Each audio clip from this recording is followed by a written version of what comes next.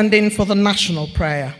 O God of creation, direct our noble cause, guide our leaders aright, help our youths the truth to know, in love and honesty to grow, and living just and true, great lofty heights attain, to build a nation where peace and justice shall reign. You may be seated.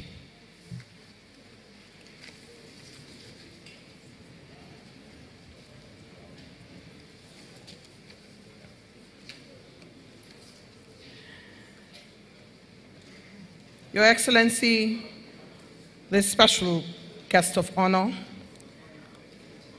former President of the Federal Republic of Nigeria, Dr. Goodluck Jonathan, Your Excellency, Chairman of the occasion,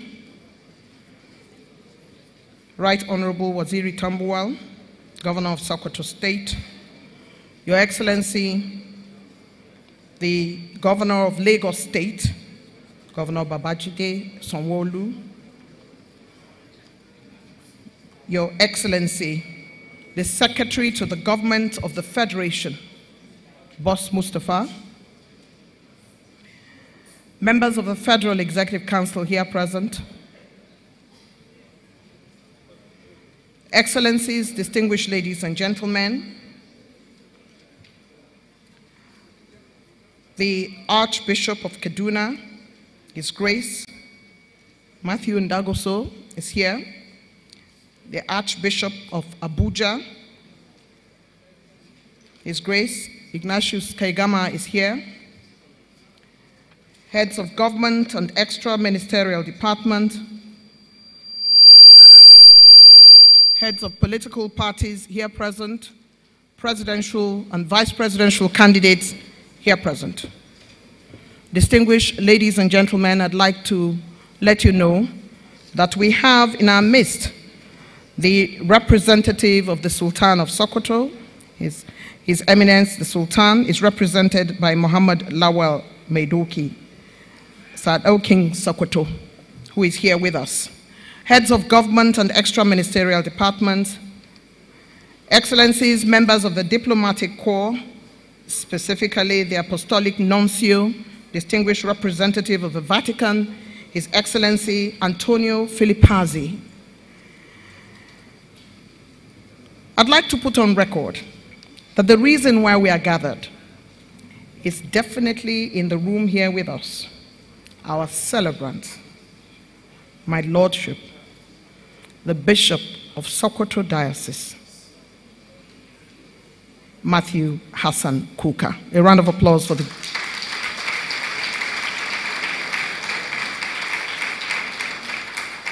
Excellencies, members of the international community, the representative of the head of the EU delegation, Mr. Saro Odenwigwe, my lords, spiritual and temporal, priests and religious here present, friends and family, very distinguished ladies and gentlemen. What an exciting day it is today as my Lord Bishop turns 70. He has reached the seventh floor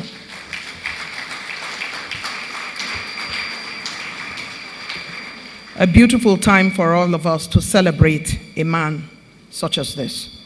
My name is Eugenia Abu. I'm a multimedia strategist, I'm a broadcaster, and a writer. I'm very pleased to be part of the ceremonies to usher in my Lord Bishop to the seventh floor. For all he is, and all he has been, and all he hopes to be, we congratulate him. Like many others, I, met, I first met Bishop Kukah on the pages of the papers before I actually met him physically. His writings were trenchant, cerebral, and unflappable. And when I finally met him, being a Catholic girl myself all my life, he provided spiritual guidance, much needed in this complex world. Then, of course, he became family. Your Excellencies, he baptized my third child in Lagos and celebrated the Mass when my son was getting married. More importantly, he preached about the posting of wives away from their husbands when Abuja was created. And when he did that first preaching, my husband was in church and I was in Abuja. My husband was in church in, in, in Lagos and I was in Abuja. And so when he met my son, who was a seven year old going to buy onions for his father to make stew, my Lord then said to him, Whose son are you? And where are you going? And he says, I'm going to buy onions for my father. Who is your mother? And he let the cat out of the bag. And therefore, my Lord continued to preach about husbands away from their wives and wives away from their husbands, using myself as a really good content. And to cap it all, my Lord sent me 25 onions from Kaduna when I was already in Abuja, when I celebrated my 25th wedding anniversary. Way back then, to remind me of the onions my son had to go and buy for his father while I was away in Abuja. Bishop Kukah's many intellectual sides are well known, but his humor is often in the back burner. Those who don't know him well don't know how funny he is. Today, we celebrate a man who, in the words of columnist Reuben Abati, writing in This Day of Yesterday, describes as a, as a, a man who is a person who loves bridge building with friends in every every corner of the world, virtually every corner.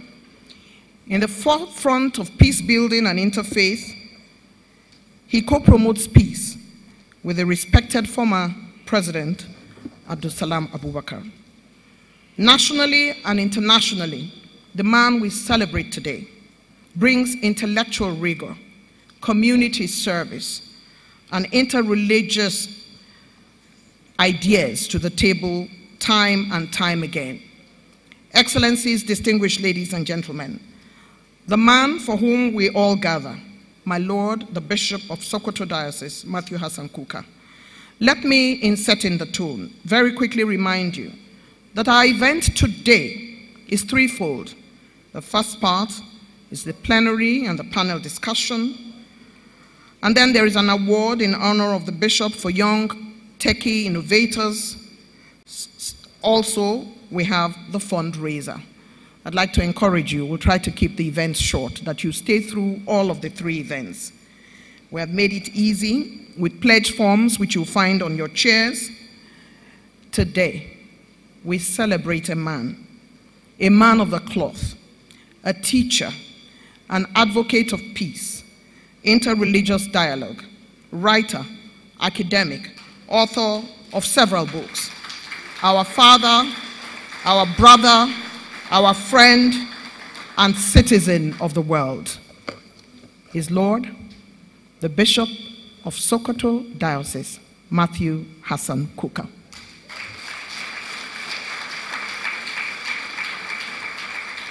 We celebrate you, sir. Your Excellency, distinguished ladies and gentlemen, it's time now for me to invite the chairman of the occasion, whom I'm told is the governor of Sokoto State, His Excellency Governor Waziri Tambuwal, for his welcome address and remarks. I know him, I don't see him. Is he here? And if he is not, Father Barkindo will let me know if we will skip the welcome and move on to the next item on the program.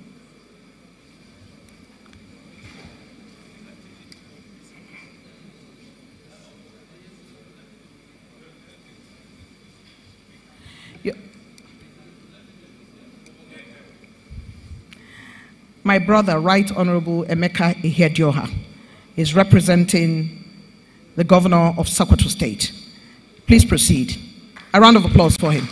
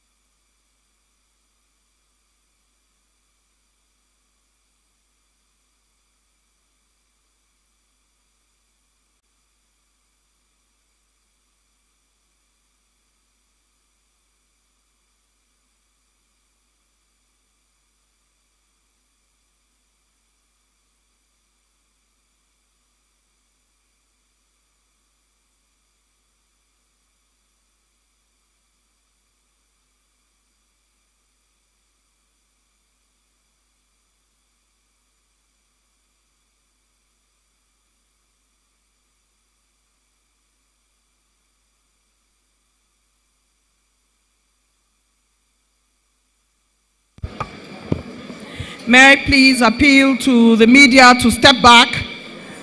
We have the speech of our chair. I'd like you to please step back and have the rest of you please settle down. I see and recognize the governor of Edo State, Governor Baseki, the governor of Plateau State, Governor Lalong. And I would also like to note that we have in our midst the governor of Ogun State. We also have in our midst presidential candidates and vice presidential candidates of the APC, Asiwaju Bola Ahmed Tinubu, and His Excellency former Governor Shettima. Other presidential candidates here present, I recognize and salute you. It's time now for us to hear from our chair, and I'd like to invite His Excellency Emeka Ihedioha.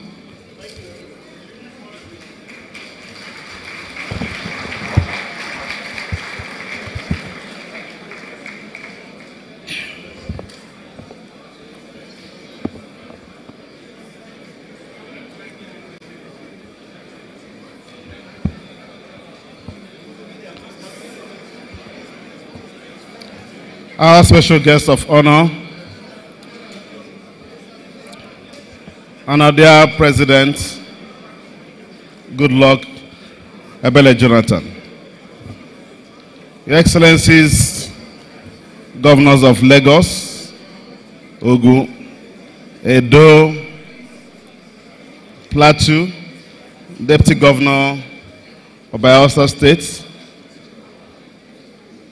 the Secretary of Government of the Federation, Mr. Boss Mustapha, the presidential candidates of the APC, Asiwaju Ahmed Tinubu, and your running mate, other presidential candidates that are here,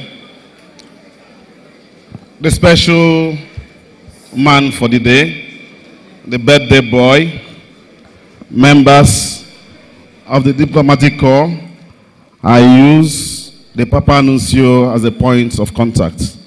And of course, the religious, the representative of the Sultan of Sokoto, and other religious leaders. Very distinguished ladies and gentlemen.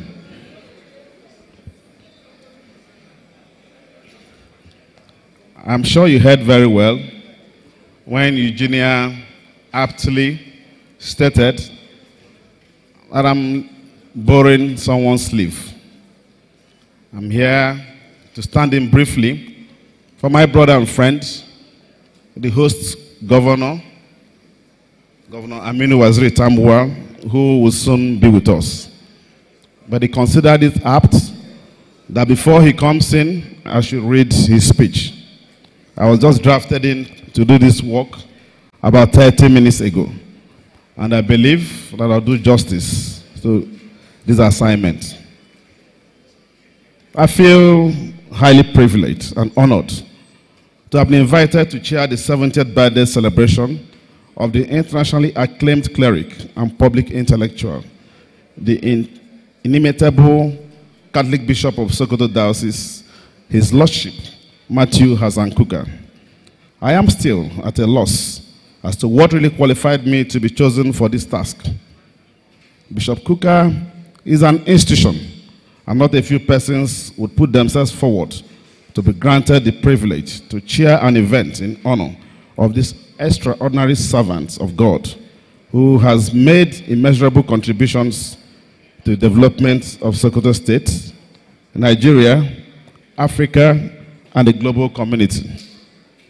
I am sure the highly cerebral cleric swung the lot in my favor because I am his personal friend and host governor. Bishop Kukah, better known still as Father Kukah, came to national limelight as a columnist of the new Nigerian newspaper, Kaduna.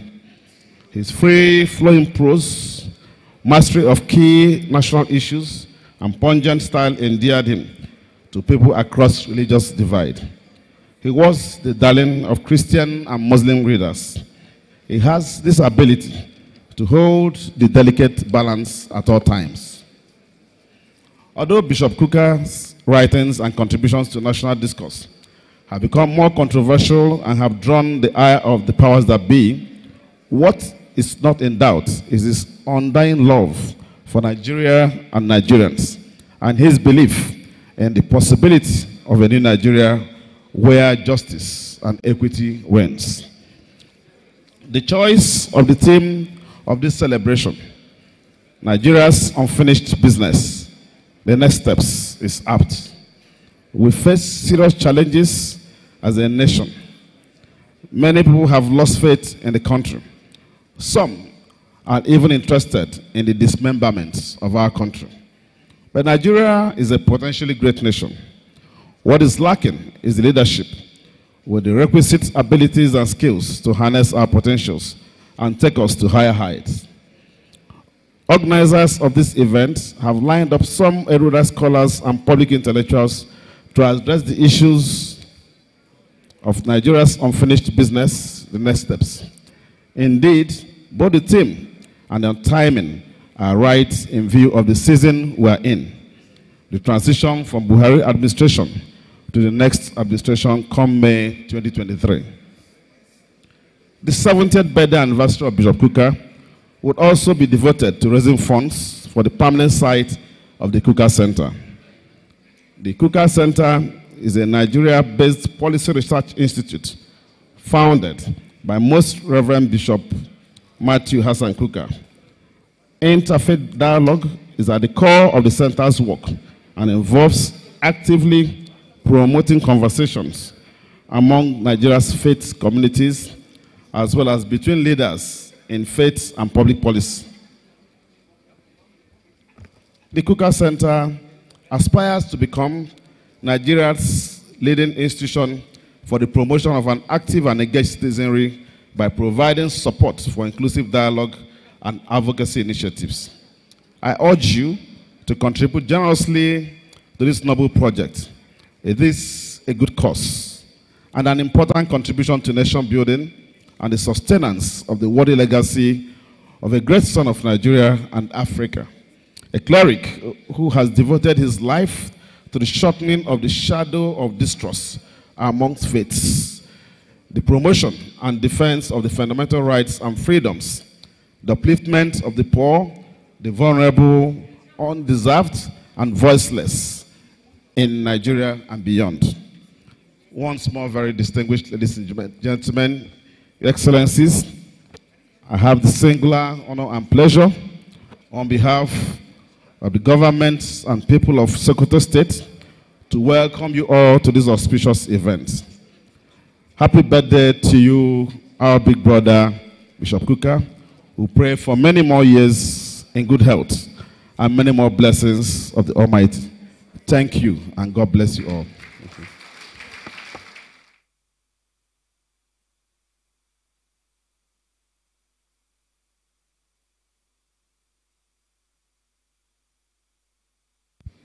His Excellency, former Deputy Speaker, former Governor of Imo State, my brother and friend, Emeka Ihedioha, has done the honors in basically reading the speech of His Excellency, the Governor of Sokoto State, Right Honorable Waziri Tambuwal, who is making his way. I'd like to put on record that we have in our midst His Excellency, the Governor of Ekiti State, Dr. Kayode Fayemi. You're most welcome. There was um, a bit of noise and a little, a little bit or a lot of felicitations um, when some distinguished personalities walked into the room, and so I didn't have the opportunity um, to recognize and welcome them properly. So I'd like to again put on record um, Governor of Plateau State, His Excellency Lalong, welcome. It's good to see you. I'd like to put on record His Excellency the Governor of Ogun State. I'd like to put on record, welcome. I'd like to put on record um, two aspirants we have today, presidential aspirant for APC, Asiwaju Bola Ahmed Tinubu, who's here with us. His Excellency Governor Shettima, who is his vice presidential running mate. I'd like to thank you all for coming. And at this point, I'd like to quickly um, recognize a few personalities in our midst. Member of the Planning Committee, former Governor of Bayelsa State, his Excellency Seriake Dickson is here with us. His Excellency Dr. Abubakar Bukola Saraki, President of the Nigerian Eighth Senate, is represented by Otumba Ibiwe, who's here with us. Would like to thank you for coming. His Excellency, the Deputy Governor of Bayelsa State, Lawrence Ewhrudjakpo, is here with us. Would like to thank you for coming. We will continue the recognitions as we um, go along, um, but I'd like to quickly let you know that on the entourage of His Excellency Dr. Goodluck Ebele Jonathan is His Royal Majesty King A.J. Turner, the Obanoban III of Oloibiri Kingdom, Ogbia, local government area of Bayelsa State. Honorable Ishaka Bawa, former Chief Whip House of Representatives, Mr. Elias Eru Kanari, Government Relations Officer, SEPLAT. Ms. Anne Iyonu, Executive Director, Goodluck Jonathan Foundation. And we also have with us the former Honorable Minister of Information, Mr. Labaran Maku. I'd like to welcome you all here for coming to celebrate with us. It's time now for me to call on the first goodwill message. And I would like to invite the Apostolic Nuncio, to please step forward and deliver his goodwill message. Your Excellency.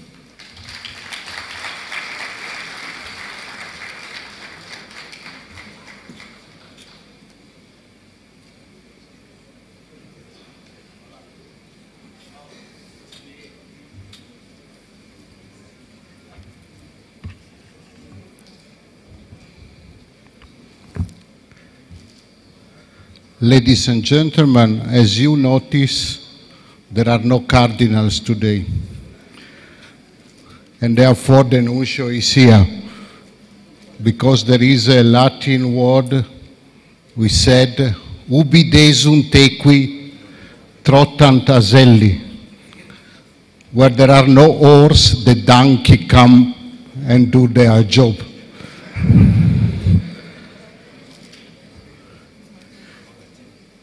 I think that during this evening we will hear many things about uh, Bishop Kukah. Already we heard something from the, from the lady. And I was asking myself, uh, so if Bishop Kukah is so many things,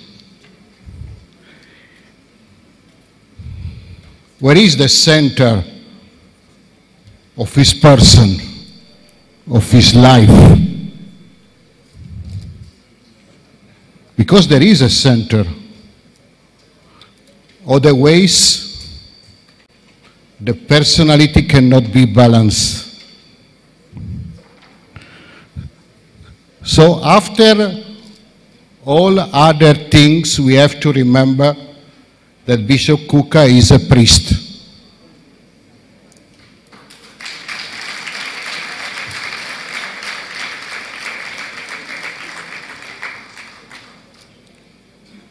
After being priest, he can be many other things. But he can never forget to be a priest. And what he does, he does always as a priest. And this is a honor and this is a responsibility. And you are here to honor Bishop Kukah. Please remember that you are here to honor a priest.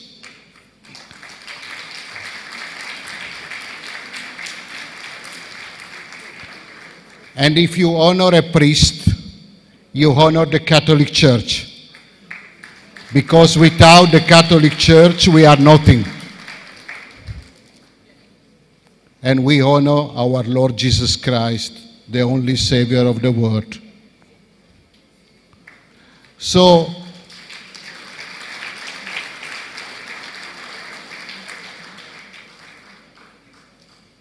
this is, I want to say about Bishop Kukah. After that, you will hear many other things, maybe more interesting, more amazing.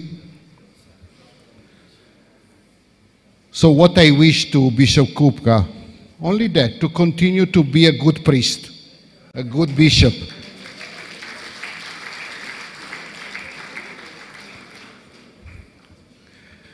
And you know, one of the difficult moments for the nuncio in Nigeria is Christmas. Because at Christmas I am always waiting the sermon of Bishop Kukah.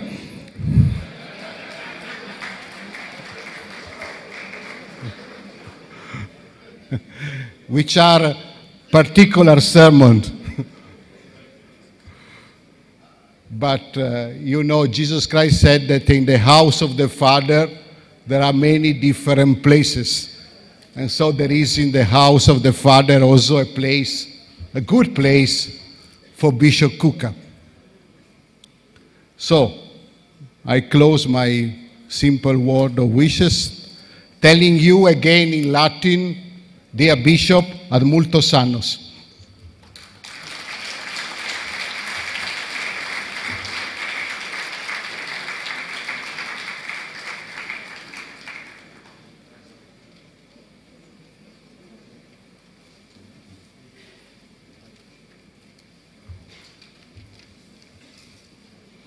In the end, Bishop Kukah is a priest.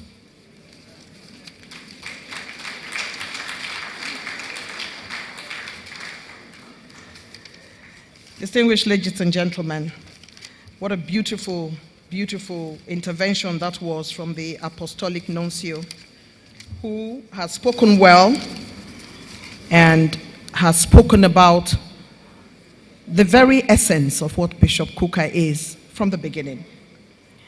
Your Excellencies, distinguished ladies and gentlemen, His Excellency, the Most Reverend Antonio Guido Filipazzi, Apostolic Nuncio of Nigeria and Permanent Observer of ECOWAS, titular Archbishop of Sutri.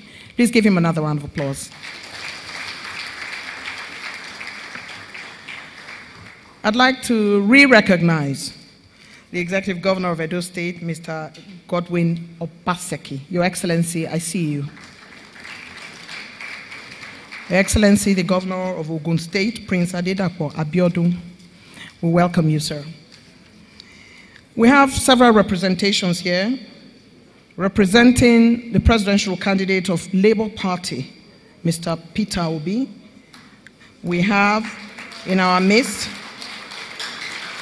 Mr. Oseloka Obaze. He's in representation. I would also like to recognize the representative of Governor Okowa. His Excellency, the Governor of Delta State, is represented by Honorable Pascal Lord Michael Adigwe.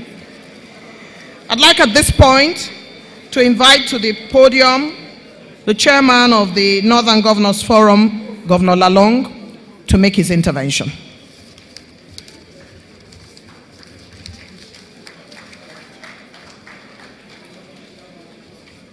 Shall we encourage him? He seems a bit doubtful.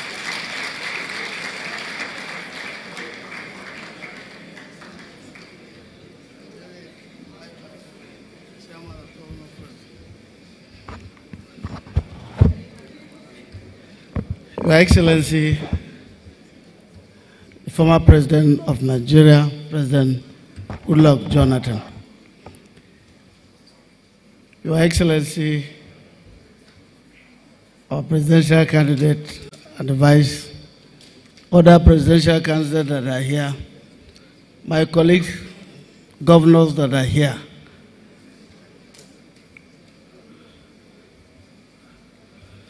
Apostolic Nuncio, I'm supposed to recognize you first, but I'm confused. Whether this is a church or a gathering. so I will be excused on that. Your Graces, my lords, bishops, distinguished guests, ladies and gentlemen, I am here. I will say to also join in celebrating a brother. They call him a priest, but me, I see him as an elder brother.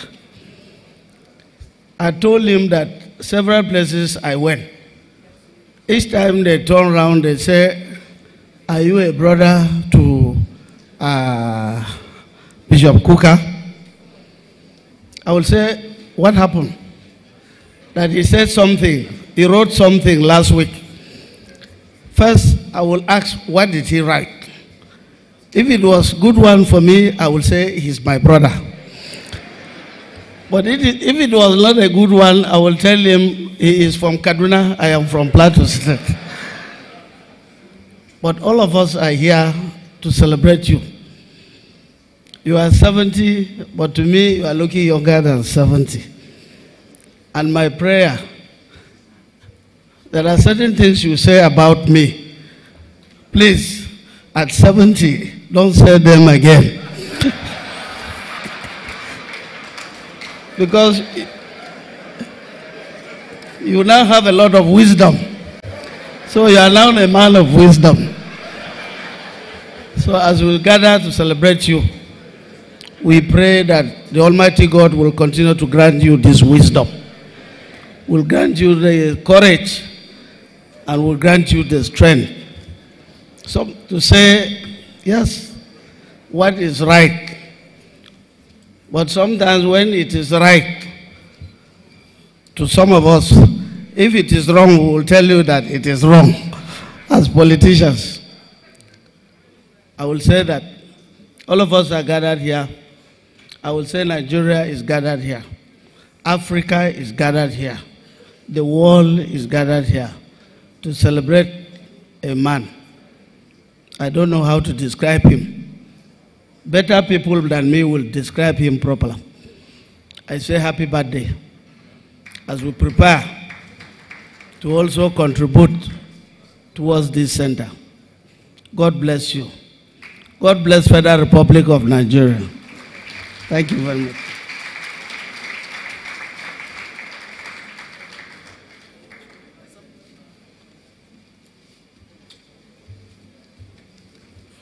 Your Excellency, the special guest of honor, Excellencies, distinguished ladies and gentlemen, it's time now to invite the chairman of Governors Forum, His Excellency, the Governor of Ekiti State, my brother, Kayode Fayemi.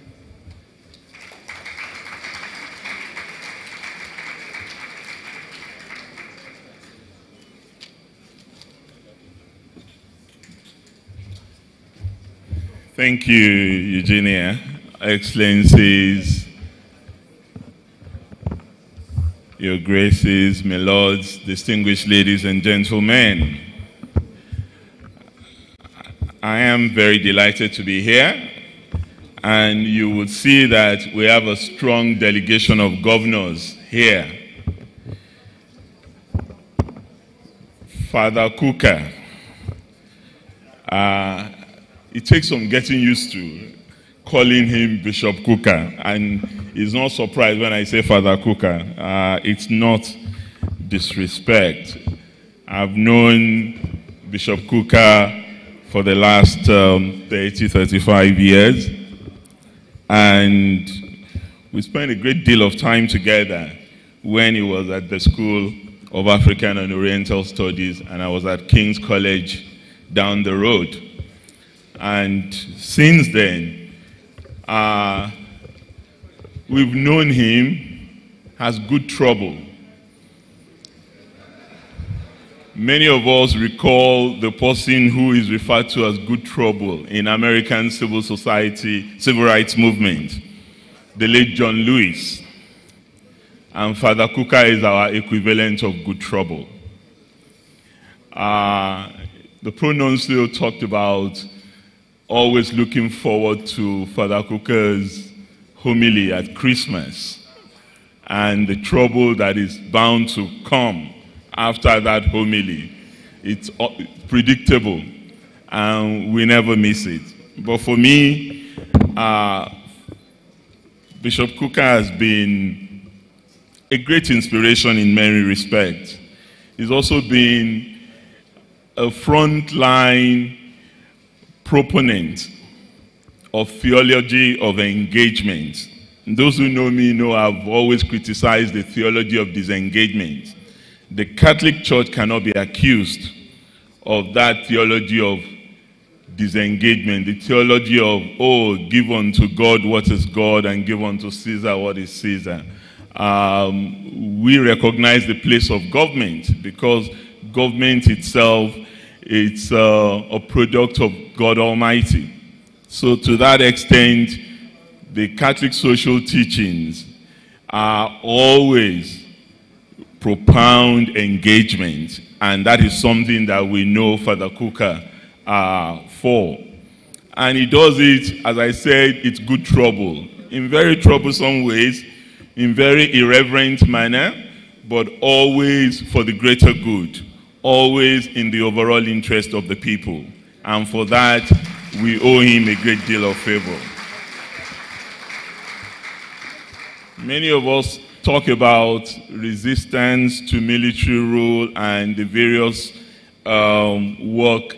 And when they mention people who are involved in those struggles, you know, they will mention Asiwaju, Professor Soyinka, Chief Enahoro, Dan Suleiman, and a lot of Dr. Beko Ransome-Kuti and many others like that. Many would not normally refer to Father Kukah as active in that kind because he wasn't on the front line, so to speak. But I recall that he was a conveyor in many ways. Uh, some of those, you know, there are some things that you want to get through airports and nobody will check a priest. Because at the end of the day, he is the priest. and in those days, he used to convey a lot of documents to us from Beko Ransome-Kuti to myself in London, uh, using the cover of being a priest, but again, always for the good of the people. And we have him to thank immensely for the role he played uh, during that period. Uh, and you would all recall when he was at the Catholic uh, Secretariat, that prayer for a country in distress, which he and his colleagues put together on behalf of the church. And for me, we've had several moments together. I recall Father Kukah calling me in the middle of the night I think the day after he was appointed as a member of the Oputa Commission. And he called and said, Aha, I have a job for you. Now, what are we going to do? Where are we going to start? This was the Human Rights Violations Investigations Commission, and it was an enormous task that had been handed over to that commissioned by President Obasanjo. Justice Oputa, widely respected, a philosopher, jurist, was at the head of the commission. But the linchpin of that commission was actually Father Matthew Kukah. And roped me into that process and had to, within a short space of time, manage to bring together the late Archbishop Tutu and many of those who had been involved in truth commissions around the world, which led to the work that they did, which Father Kukah has captured eloquently in his book, Witness to Justice. So, Father Kukah is a man of many parts and he's ruffled many feathers. In fact, he loves to ruffle feathers. And I don't know any government that has been in this country. Uh, it's interesting, uh, President Jonathan is right there. Uh, if you ask him, he's had his own moments with Father Kukah. If you had President Obasanjo, he would tell you about the letter from Father Kukah. And if you ask General Sani Abacha, ha ha ha ha ha, not least our very own President Muhammadu Buhari, who is his very good friend, but who he has engaged in rather irreverent manner, including through the Christmas sermons uh, regularly. So, I won't say at 70, stop the good trouble. No. You have to continue the good trouble for the good of our country. So thank you, Father Kukah. Happy birthday. And on behalf of all my brother governors, we love you. We're proud of you. Thank you.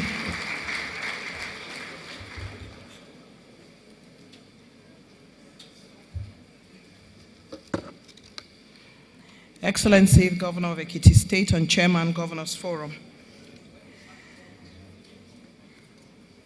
Thank you. Well done. And thank you for coming. We all know your relationship with um, my Lord, the Bishop. And indeed, as always, you have spoken well. I'd like to greet and welcome His Excellency, the Executive Governor of Akwa Ibom State, Emmanuel Udom, who has just joined us.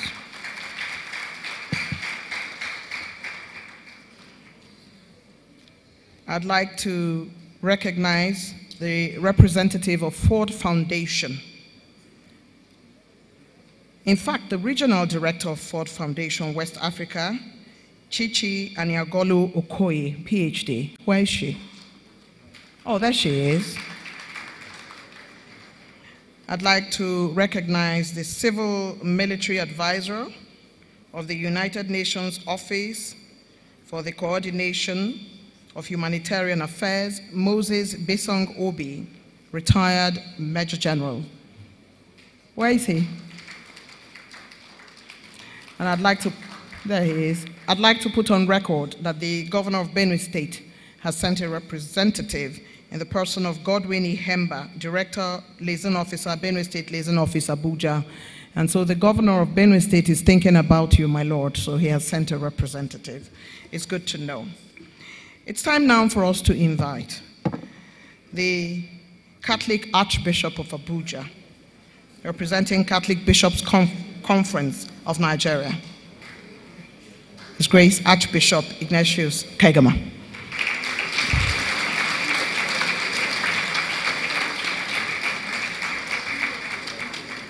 Is it possible to have a goodwill message without a priest? After all, Bishop Kukah is a priest. There you go. Thank you, sir. Thank you. Did you just improvise this now? or- I'm sure you can. Well, the array of dignitaries, I didn't see anything in the program that shows I would say something. But since I have been asked to come up here, and I'm looking at these wonderful people of God, nearly from every part of Nigeria and beyond, I am so impressed. And it is all in honor of our brother, Bishop Matthew Hassan Kukah. God has blessed him with so many things. He has blessed him with the gift of the priesthood. He has blessed him with gifts of knowledge, gift of skills of all kinds, and he has used them so well. So we are here to say, well done, Bishop Matthew Hassan Kukah. You have, you are a pride of the church and a pride of all of us in Nigeria. God who has given you all this for his people will continue to strengthen you, will give you health of mind and body. There is still more to be done. The common good is what you pursue. Justice, peace, interreligious harmony, peaceful coexistence. These are the things that preoccupy you. Keep doing them. May the Lord bless you. On behalf of all the bishops, on behalf of all of us in the Archdiocese of Abuja, I say congratulations, happy birthday, God bless, and renew your energy. Amen.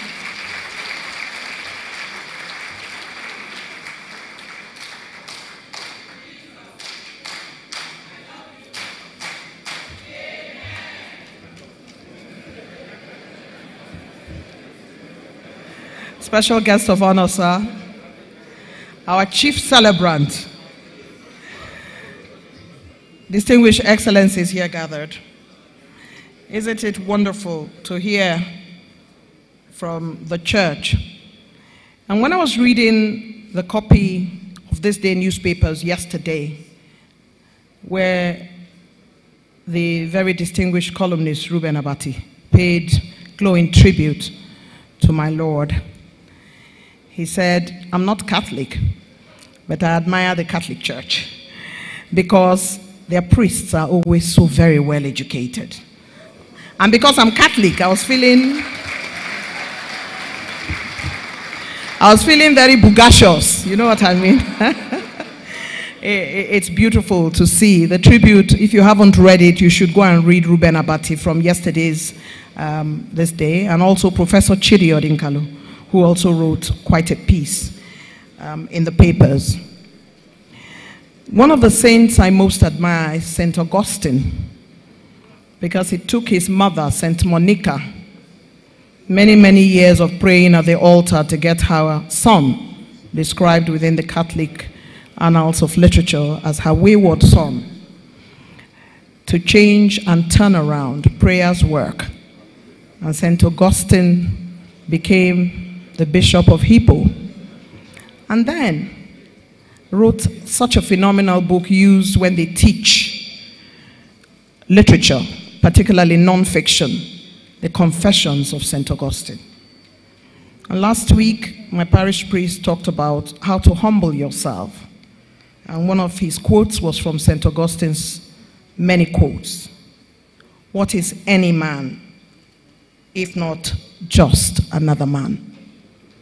All of us are just ordinary people, otherwise without our positions, and every man is just another man. It's a beautiful quote.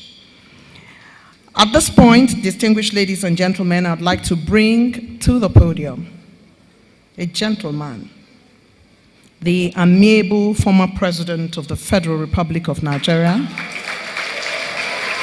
our special guest of honor, His Excellency Dr. Goodluck Jonathan.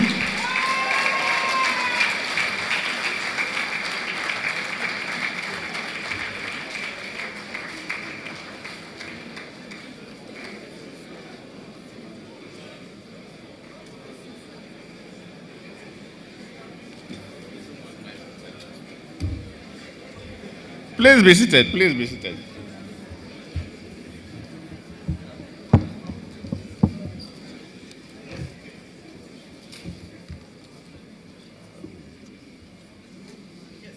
The chairman of this occasion, the governor of Sokoto State, here today being represented by my good friend, His Excellency Emeka Ihedioha, former governor of Imo State and former deputy speaker when I was in office.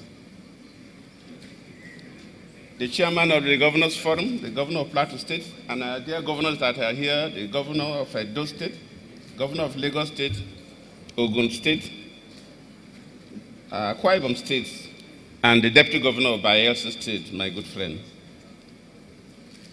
The Secretary to the Government of the Federation, Boss Mustapha, thank you for gracing this uh, occasion.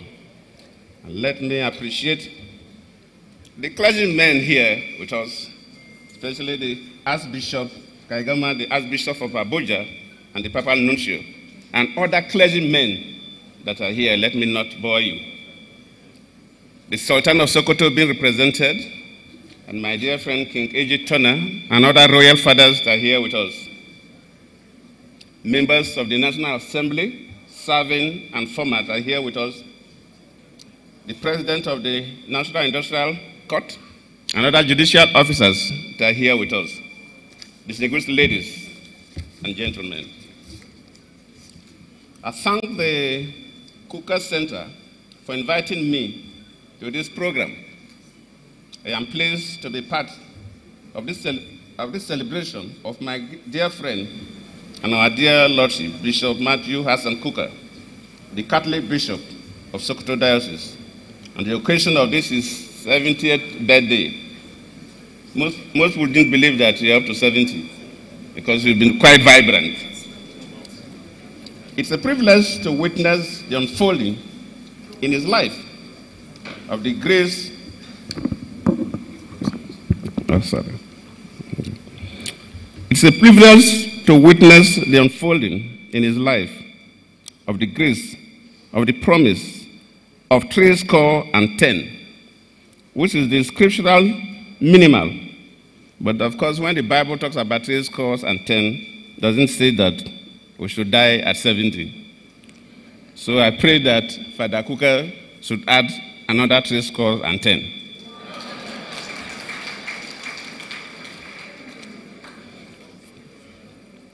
I joined other Nigerians, his friends, and well wishers across the world to pray for God to grant him longer life in good health and the strength to carry on with his crusade for a just and functional human society. Some of the people who spoke talks about how you, Father Kukah bruised them. Father Kukah must bruise all of us. Because when you are living in a dysfunctional society and you are a clergyman, you can't keep quiet. In fact, Father Kukah asked whether he, bru- eh, he, he bruised me too. But the society we are managing is quite complex. Yes, I was the president, I tried my best, but does not mean that we had no issues. Now we are talking about ASUU strike. During my time too, ASUU had four months of strike. Different committees were meeting and meeting and nothing was working. And I said, how can a student stay out of school for four good months? I had to call a meeting of all the leadership of ASUU. I presided over the meeting with my vice president. The attorney general was there.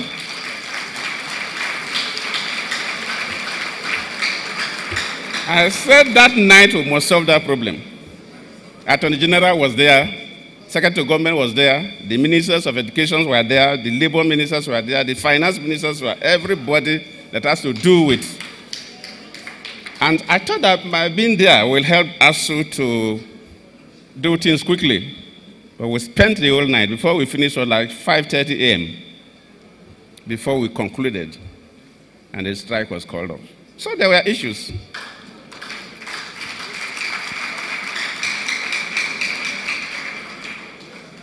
It is not surprising that the theme of today's conversation is focusing on what the organizers have aptly identified as Nigeria's unfinished greatness, the next steps.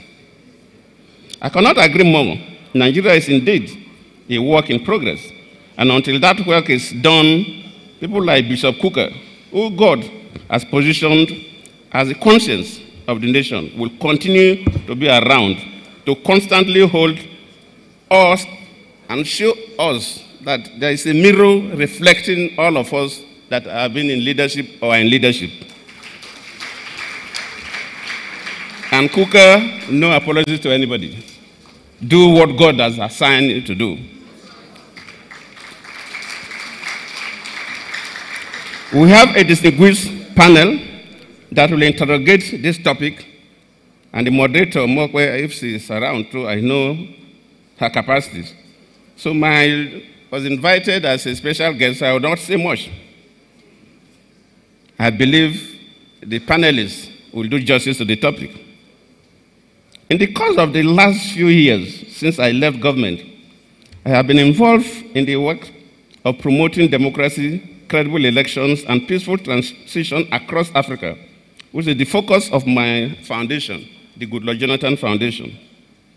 From what I know and I have seen, I cannot confidently say that the experience and struggle for development are, uh, uh, they are similar across, uh, experiences are similar across uh, Africa. Nigeria may not be where we want it to be now, but we should not give up. We should not lose hope. We should not focus only on the negative.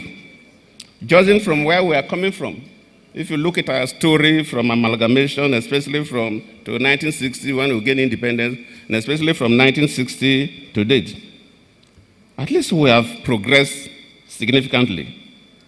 I know we have issues, but we have progressed. A nation is an organic being that sometimes suffers setbacks along the line. From 1960, the nation, no doubt, has had its own dose of setbacks. This cut across during this military time, during civilian rule, we have been experiencing setbacks. The worst was the three years civil war that really set us behind. But in every setback,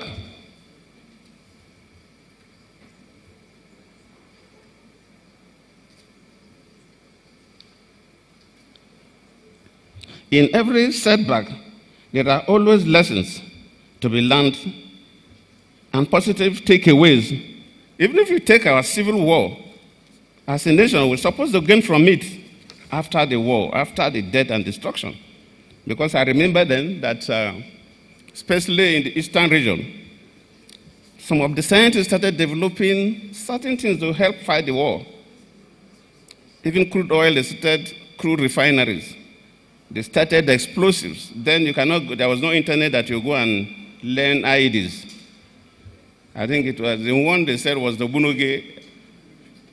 And at the time they were detonating from a distance. So if those uh, technologies were developed along the line, probably the military technology in Nigeria would have been better.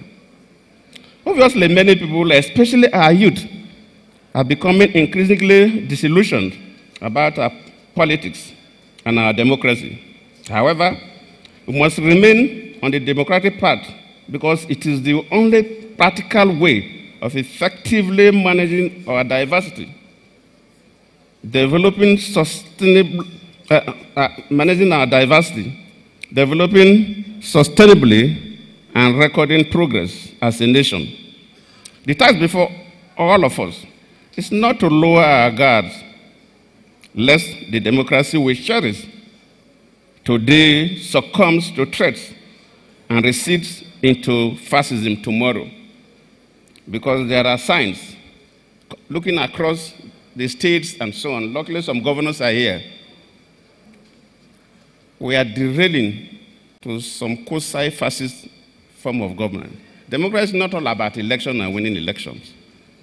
Democracy is about accommodation we as leaders, especially now that elections are coming, leaders at the center, leaders at the state level, must accommodate uh, different views. Politics is all about accommodation and uh, includes so the, the, people will discuss, I, I believe that um, they will interrogate these topics very well. We must have a country that we all believe in if you look at the statement made by our leaders, especially at independence, because we had three major regions and later the Midwestern region, people were thinking more about their regions. So even now, people don't believe that Nigeria is their nation. In fact, people will tell you clearly that Nigeria is not a nation. Yes, we know that in terms of technical definition, But it is not only Nigeria that we have different nationalities coming together to form a country. Almost all the countries in Africa, I can say all. There's no country in Africa that you go, there's only one nationality that you would see maybe in the Arab world, in Southern America, and so on. But others have been able to come together and have a country that all of them believe in. So, what is holding Nigeria back? And until we believe that we have a country that no matter what you are, no matter how you worship, we have equal rights, then we have nowhere to go. When I was in office, there's some challenges, information that got to me, and I got worried. Some parts of southern Nigeria, if a Muslim dies, to get land to bury used to be a problem. Some parts of the north, if a Christian group want to build a church, you cannot get land from the government. Some other person has to go and get land as a personal land before that person can donate to the church to build. And I set up a committee made up of governors that look, we must move away from this division to not lead the country anywhere. Unfortunately, that came towards the tail end of the government and couldn't go too far. But these are the things that worry us. A Nigerians must be proud of being a Nigerian, no matter how you worship your God. Look at just West Africa. Go to all the countries in West Africa. There's no country that you don't have Muslims and Christians. Why is that? Why is that? That of Nigeria is different in different proportions. Nigeria, in Africa, yes, countries have different problems. But in terms of religious, the, crisis that religion is bringing to us, Nigeria's case is the worst in Africa. And we must cure that. The young people must cure that. And we must all consider Nigeria as our nation. Towards this goal, we are again faced with a good opportunity of choosing our leaders as the elections are coming up now.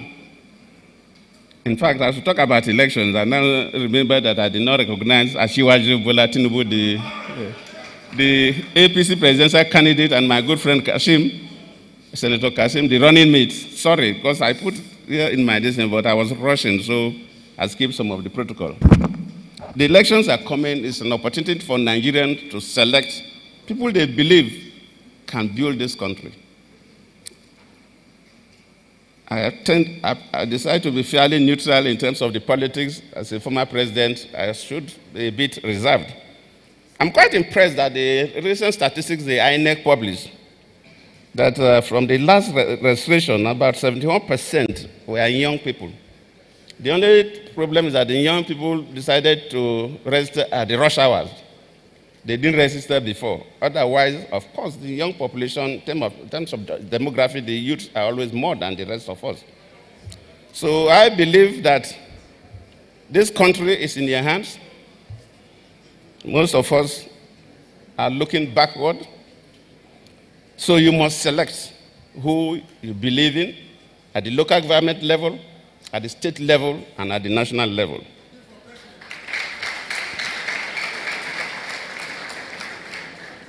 It should not be used for destructive purposes, going to snatch ballot boxes and destroying ballot uh, uh, election materials. You must have this country and push your country. Today's program, as we have been told, is a twin event. We are also launching a fund for the Kukah School of Government. I congratulate the Kukah Center for the initiative of establishing the school the school, going by its antecedents and successes in the pursuit of his own mandate, I believe that the center has the capacity to deliver on this new project. Bishop Kukah comes from a long tradition of productively engaging the Nigerian state while always deploying the experience of his considerable exposure his own international reach, academic prowess, and sense of justice, Bishop Kukah is clearly one person whose name can give the school that is to be established the cre uh, credibility it requires. when God blesses you, like Papa knows emphasized that Bishop Kukah, first and foremost, is a priest. I agree. And when God blesses you with great intellect, like Kukah, as he has done in the different cases, the Almighty God will also give you other assignments to do. So Bishop Kukah will know it's not only winning souls for the Lord, but it's the conscience of society. And that is the role that it has played and played very well. And it should continue to play that role. I believe that the Kukah School of Government is coming as a, culmination of all other of Bishop Kukah's activities. And I believe that this school will help to come up with ideas. Intellectuals will come up, discuss key issues, and these issues will translate and cascade down. When international intellectual issues are being discussed and are not presented as a form of partisan politics, people in government will listen. But when it is very confrontational to a government, government is made up of human beings. So when presentation becomes a bit confrontational, that's why you see people in government resisting and somebody will want to come and counter that statement. So the school of government is an institution. So it will not behave like an individual. So they will be able to interrogate topics. Sometimes people talk about the national issues. What is the national issue? These are things that such schools can take up at the academic level, analyze it, and properly present it to people who want to contest election. As you are going in, this is what Nigerians want from you. I believe Kukah has done very well, and that for you to gather all these people here at this time shows how people appreciate you. So, on behalf of the Goodluck Jonathan Foundation, we wish you success and we say happy birthday. Thank you all.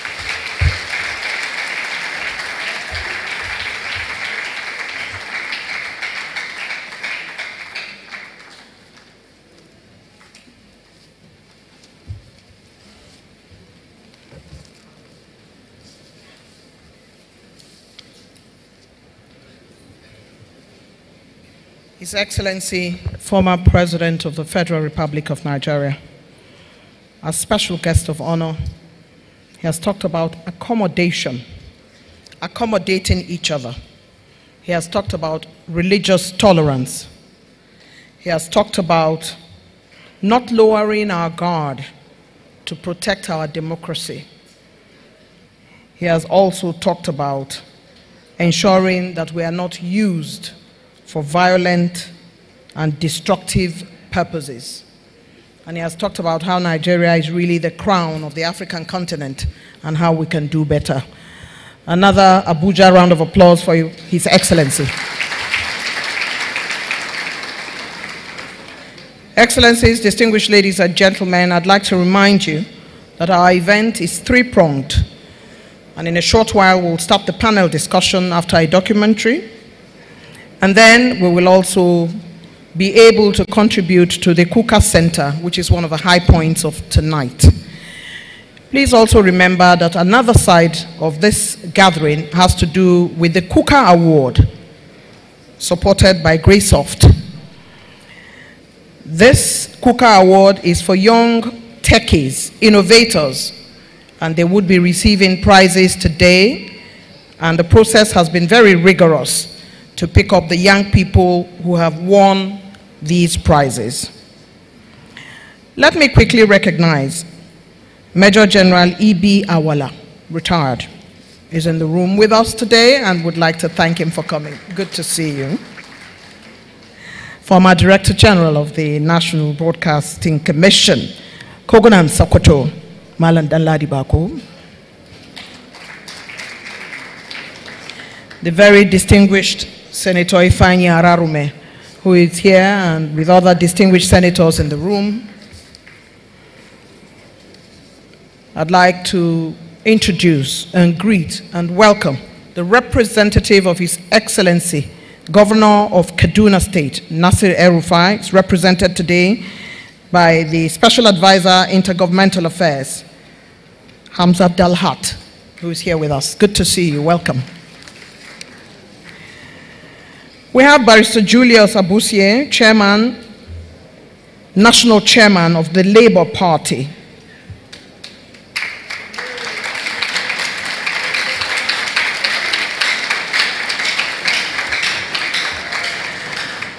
We also have in our midst today two representations from Dame Pauline Tallen. One of them is Princess Juma Idonije, Senior Special Assistant to the Honorable Minister of Women Affairs, and she's here representing Dame Pauline Tallen. And there's also a message from Dame Pauline Tallen, who could not make it here uh, due to health reasons, and she has sent my colleague, Mrs. Moji Makanjuola, to deliver a message to His Lordship. I'd like to say very quickly that we have in our midst former Senate leader, the very distinguished Senator Victor Ndoma-Egba.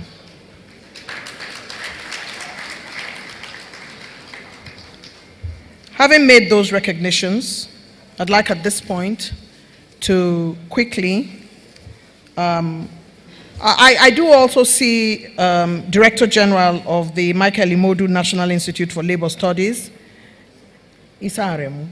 Where are you, sir? Ah, there he is. Having made these distinguished representations, I'd like to put on record that everybody who has come, who has come here today, is very distinguished in the sight of our celebrant. If you did not love him, you would not be here. And therefore, we know that everybody here loves him, and that's why we are here. Let's give ourselves a resounding round of applause for being able to make it today. At this point, I'd like to call on media to put on the documentary on my Lord Bishop Kukah.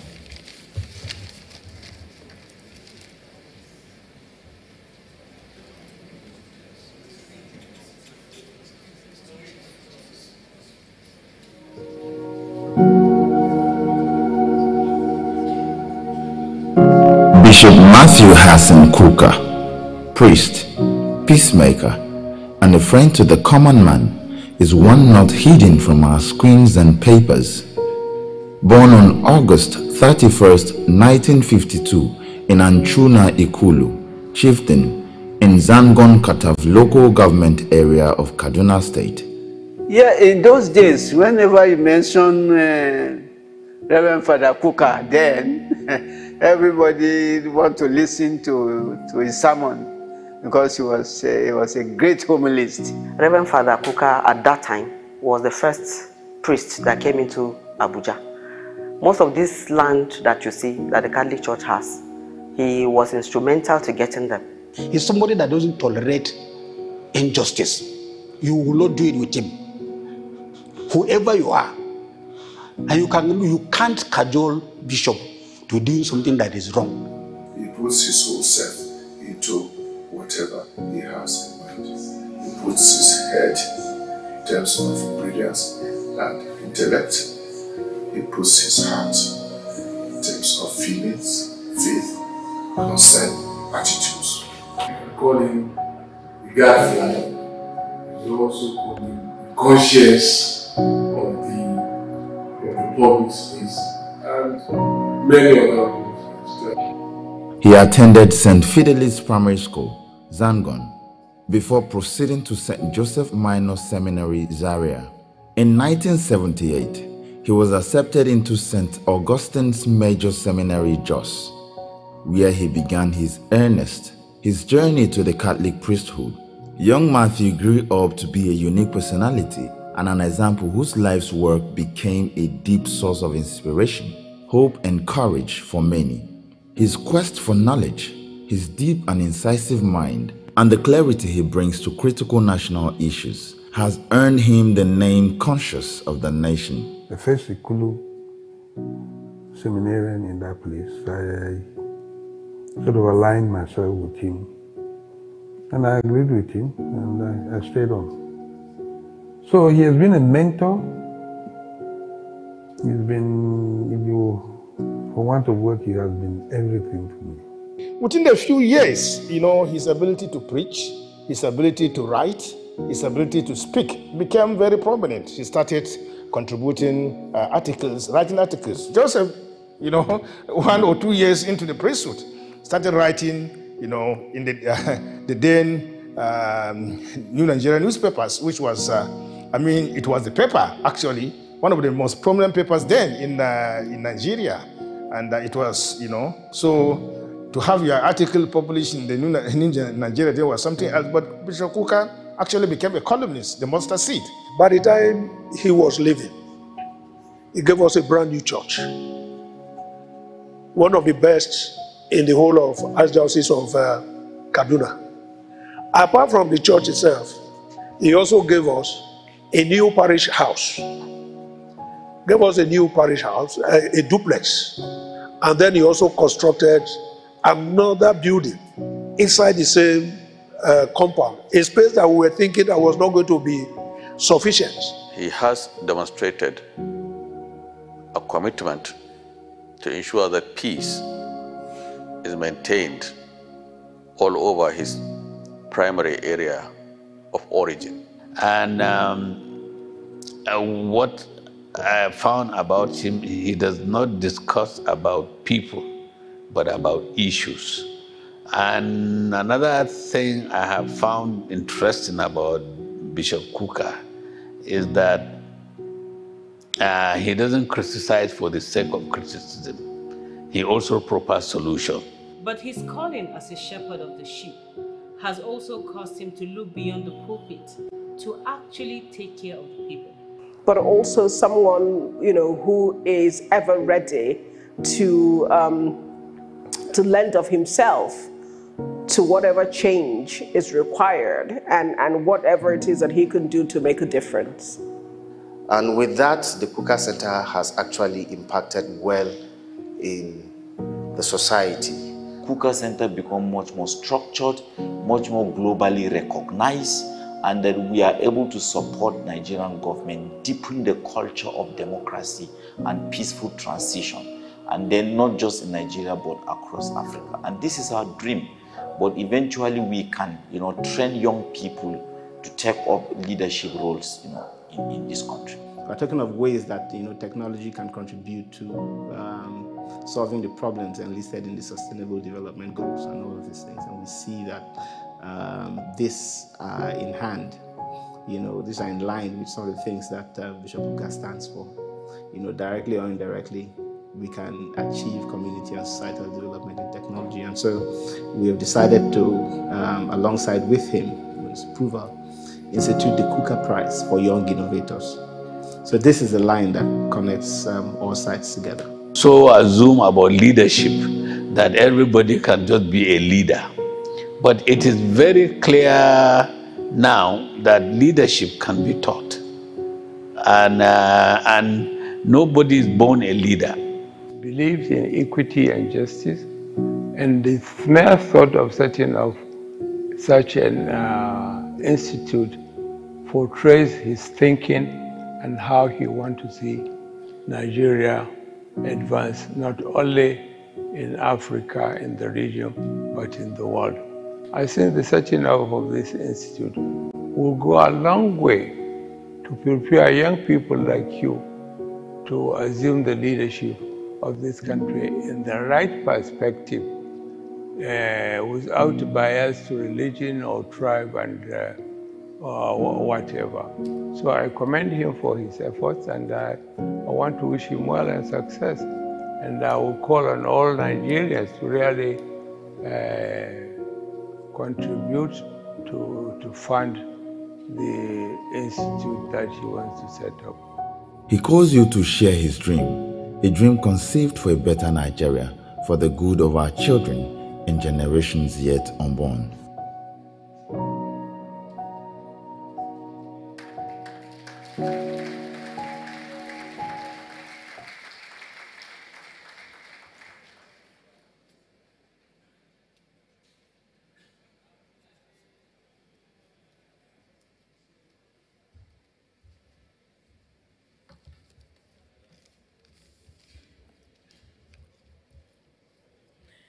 Very distinguished ladies and gentlemen, uh, I did take time to preview that documentary when it was done, and I thought it was very well done indeed.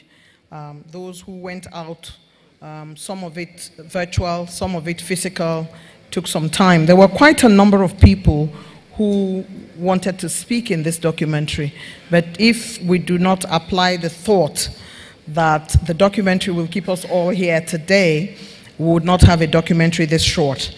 Um, this documentary is really just a teaser for all the other things that um, uh, Bishop Kukah has been and hopes to be. The Kukah Center um, images will be shown um, after the panel discussion, and you will get to see exactly what the vision is uh, for the Kukah Center for Development. And we will also be able to speak with the architect, and the architect will make all of that possible for us to see. And the executive director of the Kukah Center will also be speaking to get you in tune with the vision of this center that is hopefully going to be a center among centers within the African continent and beyond, where governance, uh, good governance, uh, democracy, uh, management of government and private institutions, um, um, cooperation amongst nations, um, international policy, uh, learn, learning about aging, women and youth, uh, and also the portions that will be talking us through how, as a people, we can galvanize to improve our communities. In that conversation, um, when you watch um, Father Barkindo speak later in the day, um, not too long from now, you will also be able to hear from the architect who would provide us the um, various processes and give you the visual architectural images of the Kukah Center. Um, having said so, uh, I would like to um, recognize and welcome Barrister Nuhu Ribadu, former EFCC chair, somewhere in the room. CAN President Archbishop Daniel Okoh uh, is represented by Apostle Biodun Sanyolu, who is also here with us. I'd like to recognize and greet the Director General, Budget Office of the Federation, Dr. Ben Akabueze, who is here with us. This is the time, distinguished ladies and gentlemen, when I invite my colleague, Maupe Ogun Yusuf, who is a Nigerian journalist and broadcaster and co-host of Sunrise Daily at Channels Television. She's moderator for the panel discussion Please give a warm welcome to Maupe.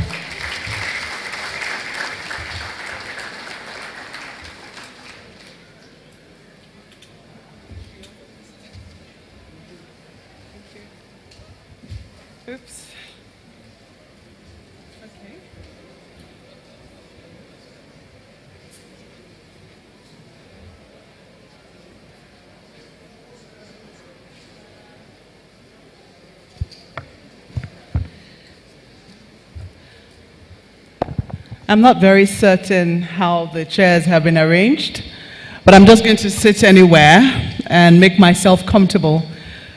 Good evening, Your Excellencies, my lords temporal and spiritual, and uh, to the celebrant,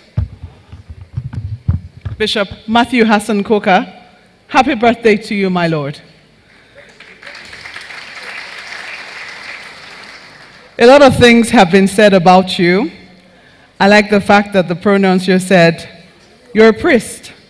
First and foremost, at the core of this is your priesthood. And so I'll struggle not to correct my colleagues who still call you Father Kukah, because that's what they call all priests.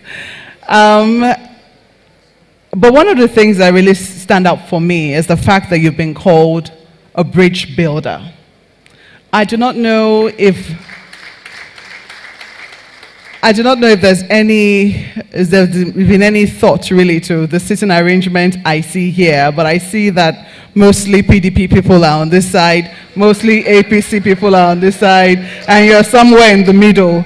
I do not know if it's deliberate, but it certainly says a lot about, you know, the sort of, yes, except you, the SGF. But it certainly says a lot um, about bridge building. And talking about bridge building, you've been a bridge builder amongst faiths, amongst regions, amongst political divides, between the military and civil populace, and for me, more importantly, amongst generational divides.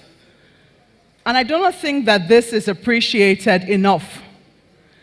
That Bishop Kukah called me himself and asked me to moderate this. A young lady, I'm female, by the way. I think that's the only one I'm going to harass you for. it is highly significant. I have not seen any woman come here to give you a goodwill message. Well, take mine as the first goodwill message that you'll get.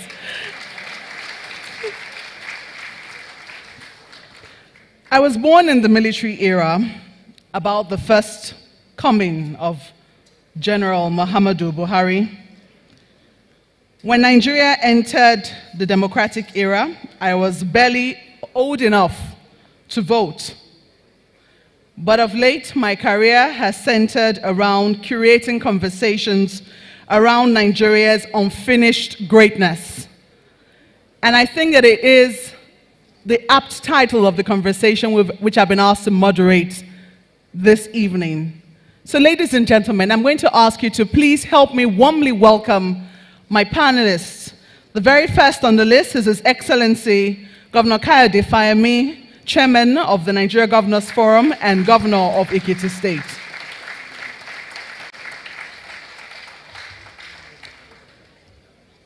I'm also going to be joined by a member of the clergy, Father Akinwale, I apologize, I've not been given any first name, but he's the former Vice Chancellor of the Dominican University in Ibadan. Father Akinwale, you're welcome.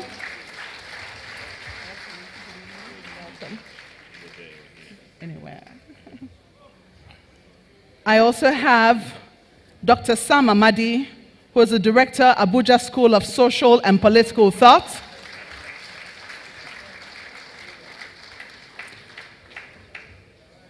Mr. Kabiru Adamu, a security analyst par excellence, and also the CEO of Beacon Consults.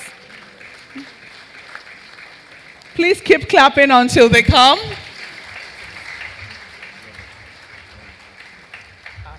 Thankfully, this panel has a lady on it. Otherwise, it would have been accused of bias.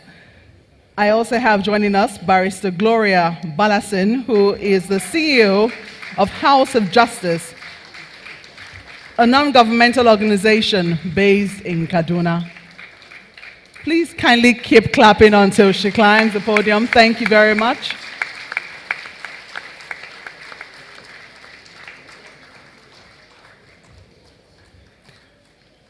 Your Excellency, Dr. Goodluck Ebele Jonathan, thank you for the confidence you've reposed in me that I capable of moderating this panel. But I hate to say this, we do not have a lot of time. And as you can see, the people whom have been asked to moderate are talkers, at least I know three of them very well. Thankfully, I do not have to do a lot of talking. I'm just going to ask one question and then you'll hear for yourselves. Dr. Kayode Fayemi, I'm going to start with you because Bishop Kukah told me that the title of his panel uh, of this discussion was inspired by a book you had recently published titled Nigeria Unfinished Greatness Envisioning a New Nigeria. He's titled this Next Steps. I tried to get a hold of that book. Sadly, it's not available in the bookshops. But I was able to get a speech. he thinks he can bribe me. It has to be autographed, sir. Well, um, thank you very much for the book. He's going to autograph it. Um, I couldn't get a hold of the book when I needed it to prepare for this, but I was able to get a beautifully written review by Dr. Joe Abah, a man who also does very well striding uh, generational divides. And it's quite interesting. I'm very happy that this has been titled Next Steps. Right now, we're in a political season. As a matter of fact, the 1st of September, from tomorrow, kickstarts the campaign season. I think sometime from the middle of the month, we're going to be seeing the campaigns go full throttle. I think something, sometime on the 19th or so, 19th or 20th. But I know it's September already, and whether or not we like it, the campaigns have started. So, talking about Nigeria unfinished greatness, uh, right now you have to ask if you know everyone will be listening, whether we're all not caught up in the political fever.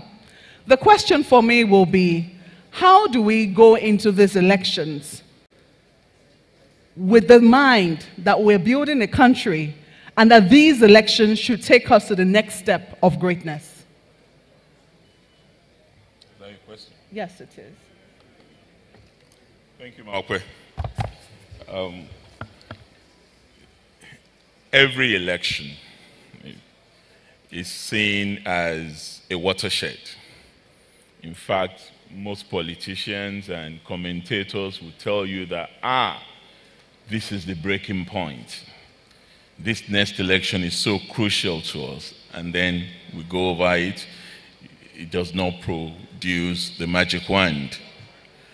But my own attitude to this will be incremental because nation building is always work in progress. No nation is fully built from the start, and unity is not automatic in any nation. But disunity is also not automatic.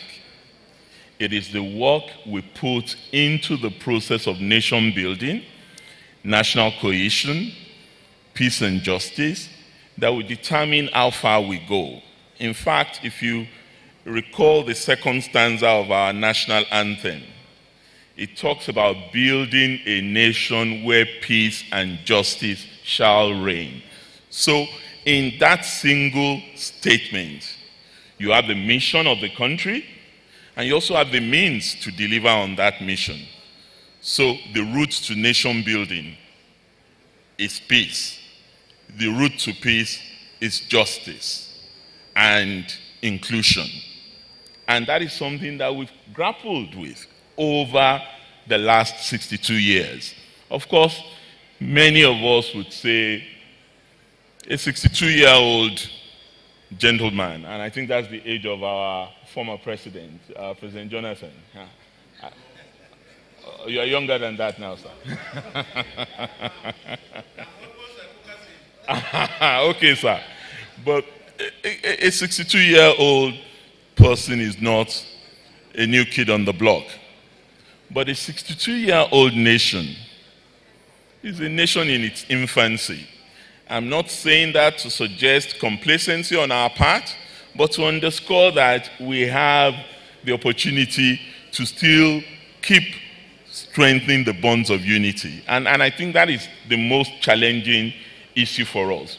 We all tend to focus more on development, development, because that is really what is immediate to us. But you cannot give what you don't have. Development would only follow when we have a nation. And to have a nation, we need to have an elite consensus in which we all agree on what this nation means to us. I am not so sure we have arrived at the destination of that elite consensus yet. But that is the mission towards building Nigeria's unfinished greatness. But let me stop there. Thank you so much, uh, Dr. Fayemi. Let me come to you, uh, Dr. Sam Amadi. I'll be with you shortly, um, Father Akinwale. When you think about, and this is drawing from his first thoughts, and maybe the last line of what he said about elite consensus. Why would you think that it's been, why would you say that it's been so difficult for us to forge an elite consensus, if you agree with that statement? Okay, thank you very much. I think um, he started by talking about incrementalism, that we need to make progress incrementally. But if you look at history of countries, there are always moments of disruption.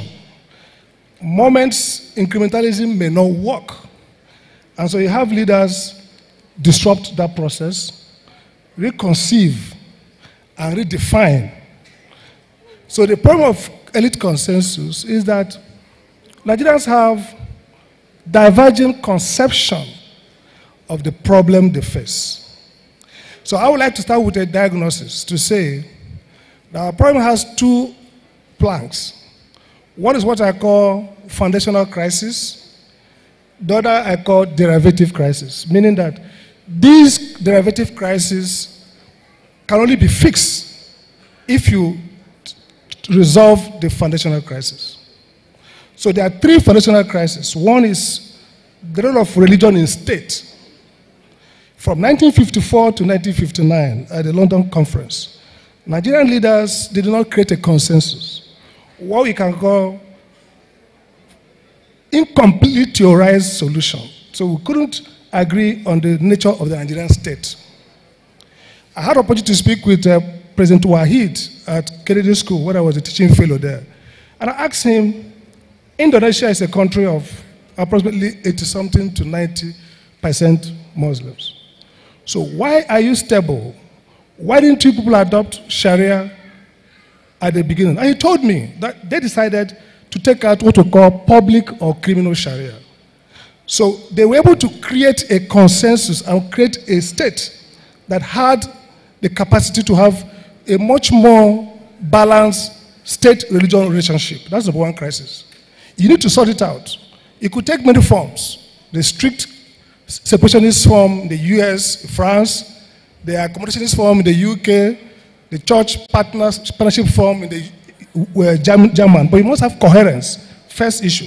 The second issue is issue around citizenship and nationality. Citizenship and nationality.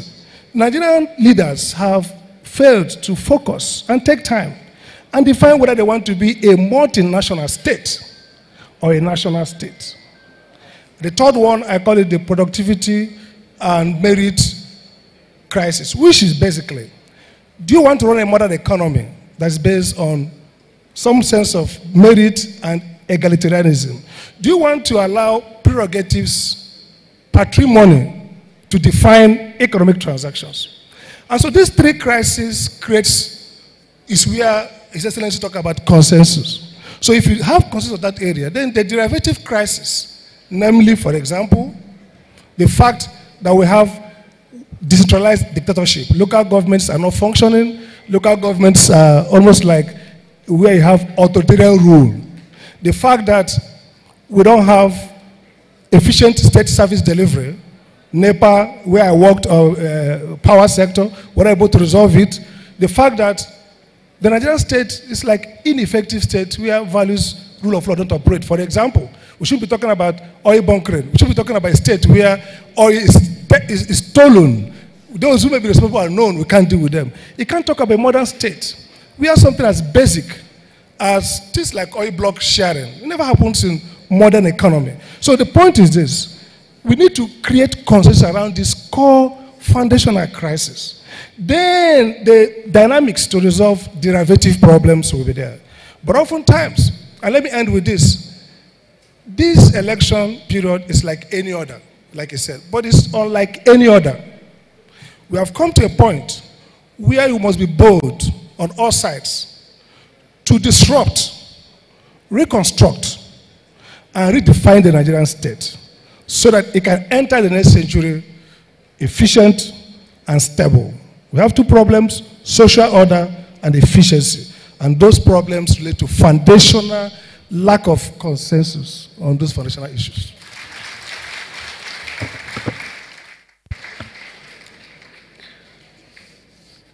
I'm going to come to the lady on my panel, Barrister Gloria Ballason, because I'm also taken from the opening statement of um, Dr. Kayode Fayemi. He pointed to Nigeria's national anthem, the second stanza, um, which we often recite now as a national prayer, you know, to create a country where peace and justice shall reign. And you are the CEO of House of Justice based in Kaduna. I'm sure something must have informed you know, your thoughts, inspired you to create such a house. And if there's anything that speaks to the heart of a lot of the agitations that we see in our country today.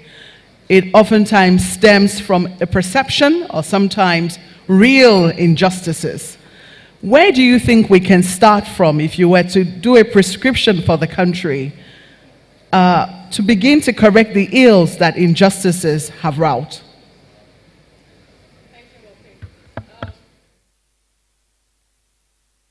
Conversation, usually when it comes to the Nigerian state, is always from a pessimistic point of view. But for me, I would think that the major issue is how we want to run a country by alternate reality. We want to run a country that is governed by rule of law, but we don't want to obey the law.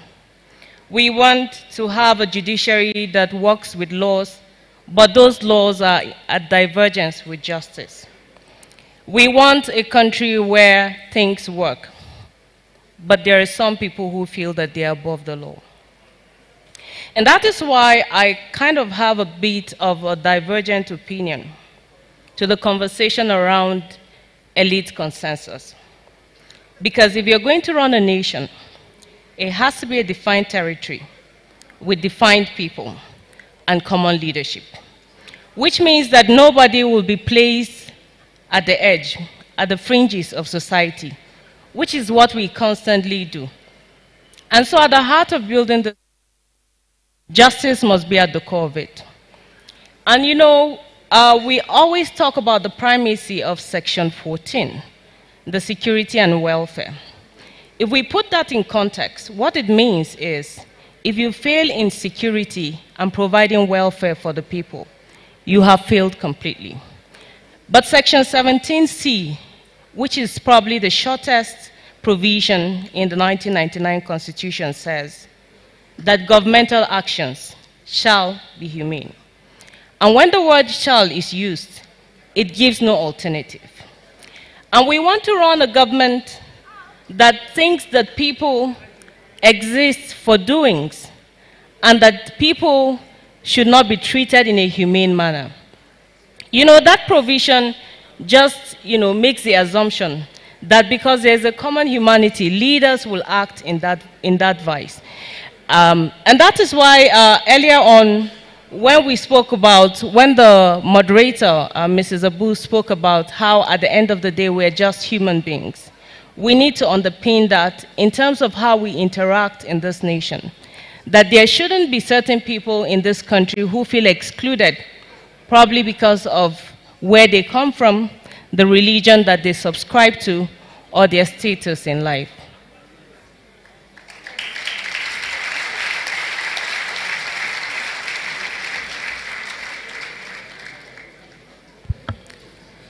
And when that happens, what should happen at the end of the day?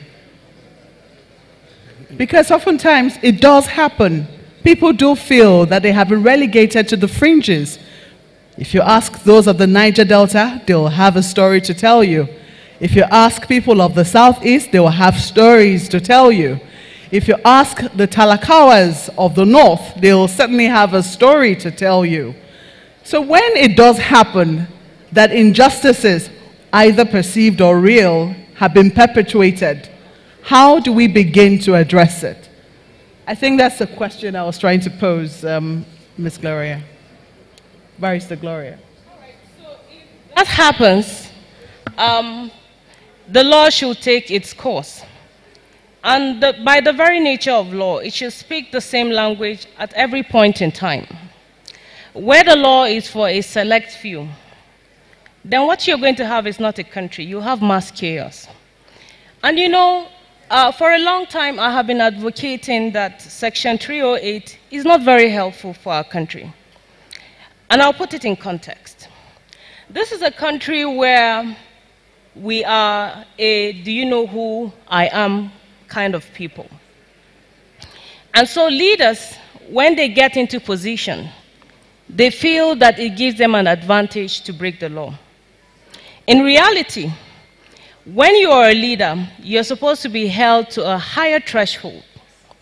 So if Section 308 allows you certain latitude, you commit infractions while in office. and then we're supposed to wait until after you have left office. The evidence at that time would have been wiped out. But then again, the real issue is the real issue is how do you describe a leader who doesn't lead by example? Who believes that his job is to break the law and that he should be immune from interrogation?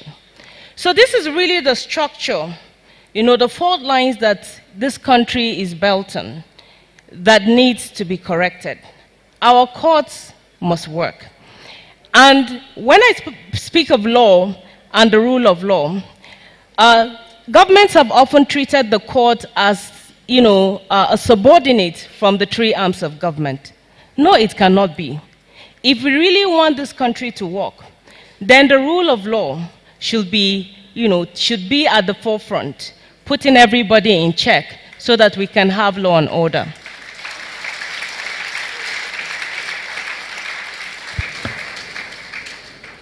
Thank you, Gloria. I'm going to come now to Father Akinwale. Um, one of the statements which Dr. Fayemi made, and pardon me that I'll be quoting him a lot because he wrote this book, Unfinished Greatness. Interestingly, I, I, I see that you're not the first person to use that title. Um, I know that when somebody was also writing about uh, late sage um, Obafemi Awolowo, that title was also used. Uh, but I'm going to come to something you said, not in the book, but in a statement or, uh, will I say, presser, which you delivered. Um, it says, or you said, over the last few years, as our beloved country has been buffeted on all sides by a myriad of problems, I have, like many of you here present and online, experienced discomfort at the ease with which cheap and populist opinions, which yesterday may have been laughed off as fringe ideas, have gained in influence to become mainstream. In the meantime, those who have held onto the goal of Nigerian oneness and unity have found themselves pushed to the margins and placed on the defensive. So, Father, I'm going to ask you again. I'm going to ask you, well, for the very first time. How do we bring back to the mainstream those who have now been pushed to the fringes, talking about and believing and espousing the belief that Nigeria truly should be one? I think it's.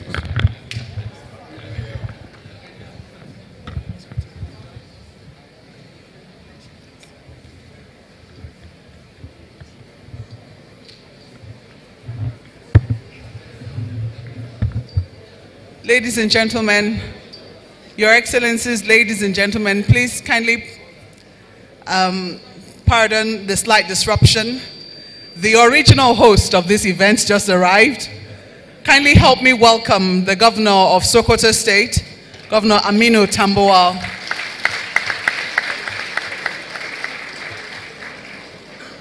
I also know that he's been accompanied by former governor of the state, um, you must forgive me, sir. Your, your name used to be a mouthful when we were when we had to call it and scream.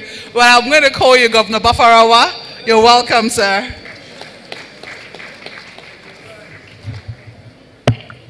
I just posed a question to Father Akinwale asking him how we can bring back those who are now on the fringes, who have been pushed to the fringes, talking about Nigeria's oneness, how we can bring them back to the mainstream and begin to buy into this vision of one Nigeria.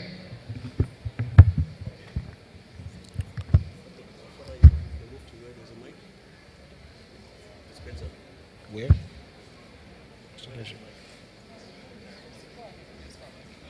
Thank you. I think um, we need to begin by resolving a conceptual crisis. What do I mean by conceptual crisis? Quite often, when we speak about Nigeria, we collapse the distinction between country, state, and nation. We tend to think that the three mean the same. We tend to think the three are synonyms. A country is a territory. from the Latin contra terra, the land that lies ahead of you. A country is a territory. It is not necessarily a nation. A nation is an association of peoples, and I use that word in the plural deliberately because of diversity. A nation is an association of peoples who identify their shared core values. And on the basis of their shared core values, they give themselves a constitution which will now establish institutions that make up the state. What we have in Nigeria and in most African countries is a confusion where we think the nation is the state. The nation is reduced to the state. We have a country quite all right by the fact that we live within a territory, even if that territory is not secure, as we all know. But we don't have a nation. We have institutions that make up the state. We collapse the nation into the state.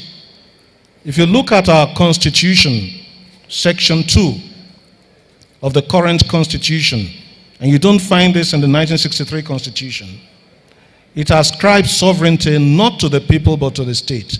That is dangerous. That means the state has the last say on any question. That means the state is more powerful than the citizen. That is a recipe for impunity. Because as we all know, the state is the head of state, or the governor, or whoever represents them. Whatever they say, we all have to comply, whether they're right or wrong.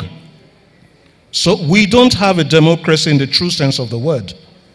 And until we have that, until we build a nation, we can't even talk of unfinished greatness. And I have to make a critique of the title of Governor Fayemi's book. It presupposes that there is a project that is unfinished. I am saying we have not even started the project. And we, we need to stop deluding ourselves. What are our shared core values? What are the things that bring us together apart from the Super Eagles?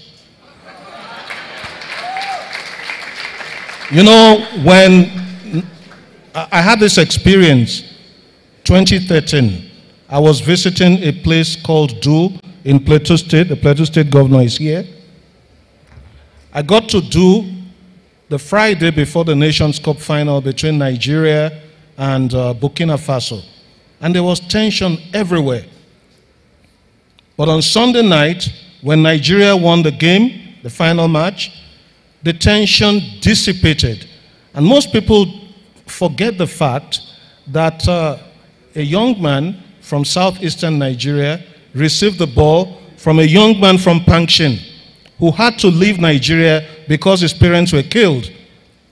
Victor Moses passed the ball to Sunday Mba. Sondemba scored the goal. And we, we didn't even ask about the local government of origin of the scorer of the goal. So, what are our shared core values? If you ask the Americans, they talk of life, liberty, and the pursuit of happiness. We don't have one. And it is when we begin to identify our shared core values that we begin to build a nation. What we have right now is a state held together at gunpoint. And when the state, when the state begins to oppress the citizen, there will be cries of marginalization, there will be secessionist and separatist agitation. There will be insecurity. Now we have set up Nigeria to be a place where the state is more powerful than the citizen and the state is oppressive. We need to retrace our steps. Quite often, Nigerians ask, which is the way forward? And I say, if you are moving in the wrong direction, you shouldn't be going forward. You should make a U turn.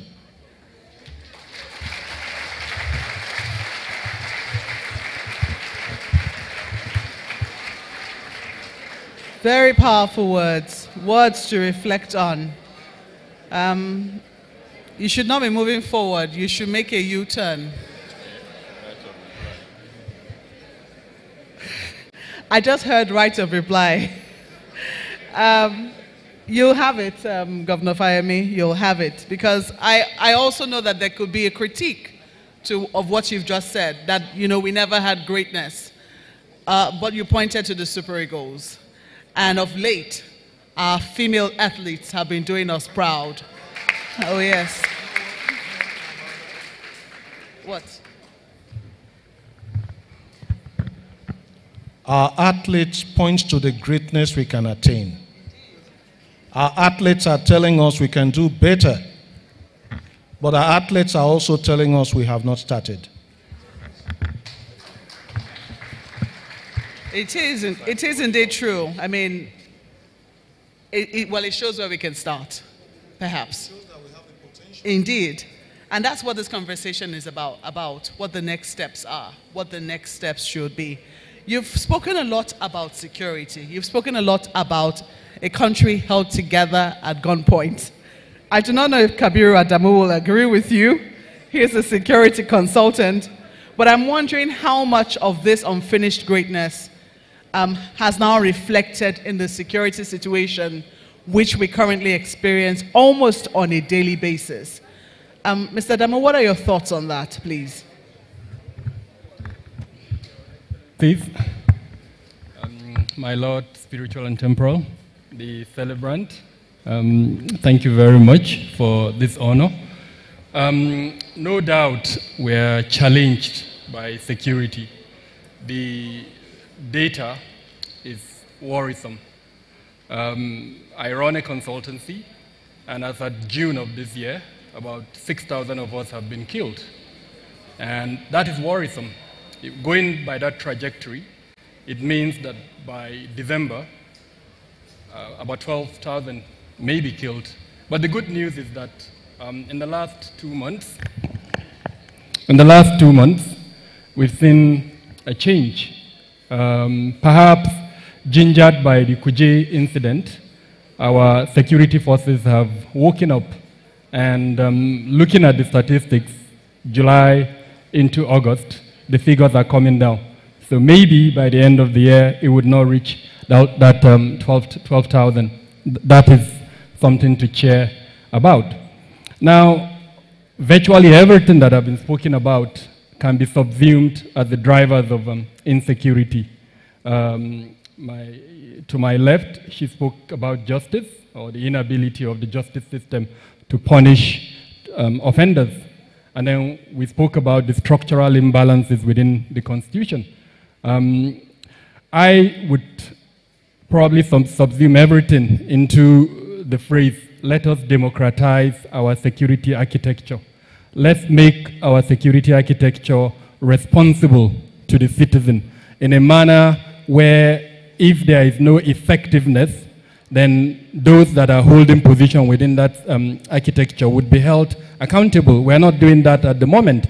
And that is why, unfortunately, we continue to see a deterioration within the security space. And um, without meaning to be pedestrian, it is unfortunately a legacy of the military era that we, we kind of took into the system. And I'm very happy that um, in the audience here, we have uh, virtually from different sectors. So the, legisla the legisla um, arm of government, as an example, would have that responsibility to look at the laws that have set up most of the organizations within the security um, architecture, look at their laws, um, democratized them. Most of them were set up either during the military era or as far back as the colonial era. Um, that uh, element of responsibility within them, unfortunately, is not very strong. And to do that, we need to strengthen um, the monitoring and evaluation element within them. Let's use um, data, metrics, so that we're able to measure performance. Let it not be um, anecdotal. Let, let it not be by the basis of our whims and caprices. Let it be seen that if you are reducing abduction, it's clear that you are redu reducing abduction. Let it be seen that if you are reducing fatalities, it is clear that you are reducing fatalities. Anything short of that, unfortunately, would lead to a continuation of where we are at the moment.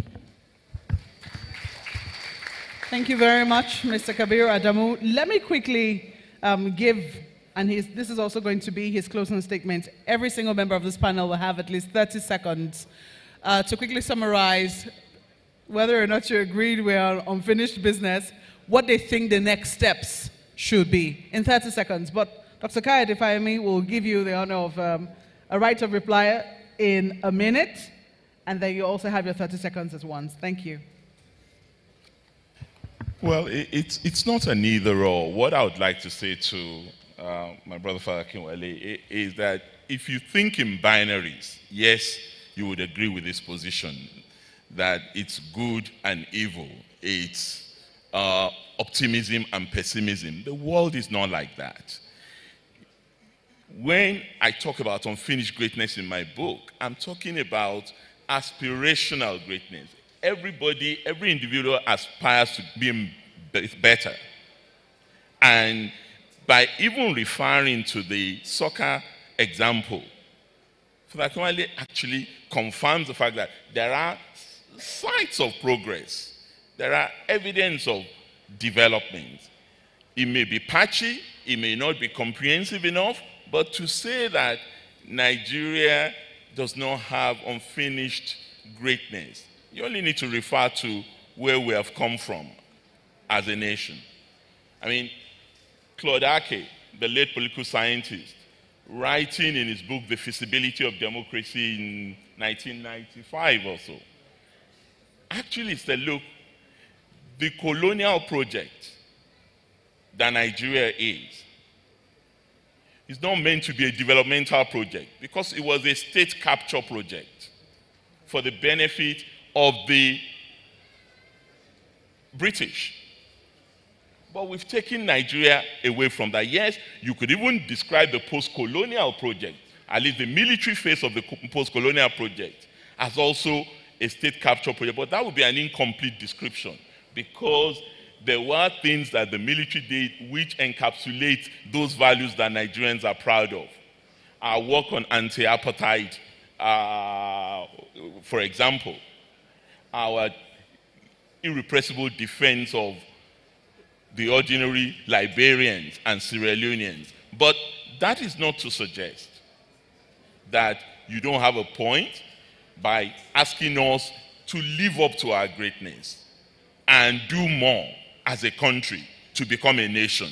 Because we're not, but we often forget that we've managed our diversity and difference. As bad as things are, that countries in many other parts of the world, we got the world balkanized from a particular region of this world, the Balkans, where countries that were all together had split into Yugoslavia, Serbia, Croatia, Bosnia, Herzegovina, you name them.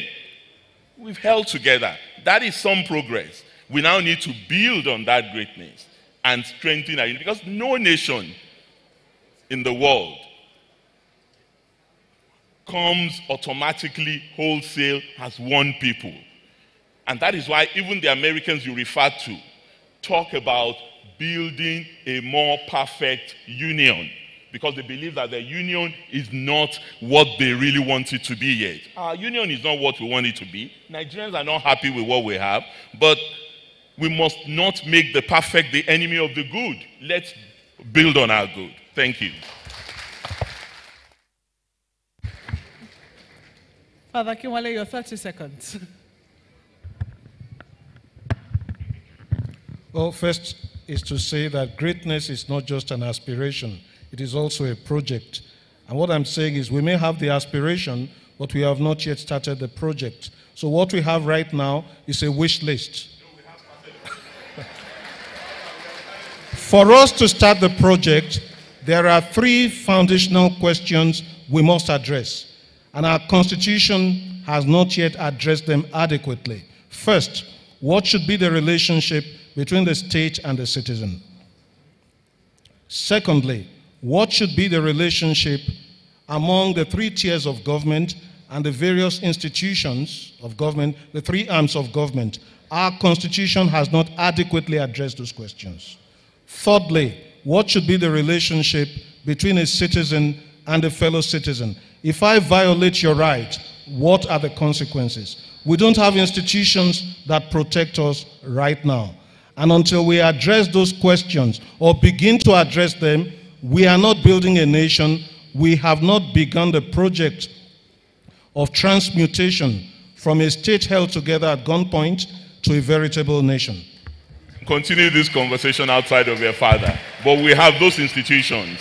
Are they working perfectly? No, they're not. But we have them in our constitution. Okay. this is the referee speaking. um, I'm going to come to you now. Barrister Gloria Ballason, your closing comments, please. So, um, you know, when I uh, thought about the celebration of Bishop Kukah today, um, I found that in 1997, after 30,000 civil servants were sacked by Colonel Ahmed Ali, Bishop Kukah wrote an article, Who Will Save Kaduna State? 25 years after today, the bishop could very well write the same article, but with worse facts. The state is landlocked. The issue of religious freedom is an issue. But if you move beyond Kaduna State and you speak about the country, we would even be talking about even more dire situation. Six months after, 2.1 million students are at home, restless, able bodied young people, and we want to solve the issue of insecurity. 234 soldiers have written because they want to leave their jobs. It's not because they don't love the country anymore, it's because they feel that the country does not love them. The judiciary and the head of the judiciary was removed by an expertise. The person who removed him was found somewhere in fisticuff, he retains his office. The Chief Justice is away. In another state, the person who came fourth position is now governor, while the one who the people gave the mandate is out of office. The issues are diverse. And so when the panelists spoke about when you're going the wrong way, the thing to do is not to continue on that path, but to make a U turn. I totally agree with him. To build this country, we must be willing and invested in the truth. We must choose leaders with track record. If you have failed in the issue of security, you have no reason to present yourself again for elections.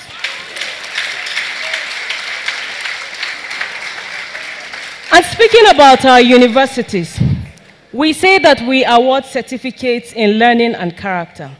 But it is in the same universities that certain people of certain faiths are excluded. How do you explain that? And when you have professors who go to supervise elections, they are also caught by the very thing they should be solving that is corruption. So, my recommendation will, this, will be this Are there magic bullets? I believe that there is a magic bullet, that we must learn to do what is right that we must not be looking for loopholes that we will exploit so that we can now foist on the Nigerian state our own powers. That we must look beyond our own selves and accommodate everyone. Because if, no, if people don't feel a sense of belonging, you cannot also force them not to look for a state or some other place where they can feel fully human. And I hope that Nigerians will realize just as the book says, that we can be great, but it will take much more than wishful thinking. We must invest in it.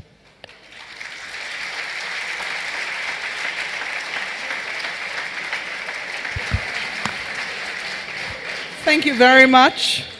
Barrister Gloria Ballason, thank you so much. Um, I'm going to come to you now, Dr. Sam Amadi.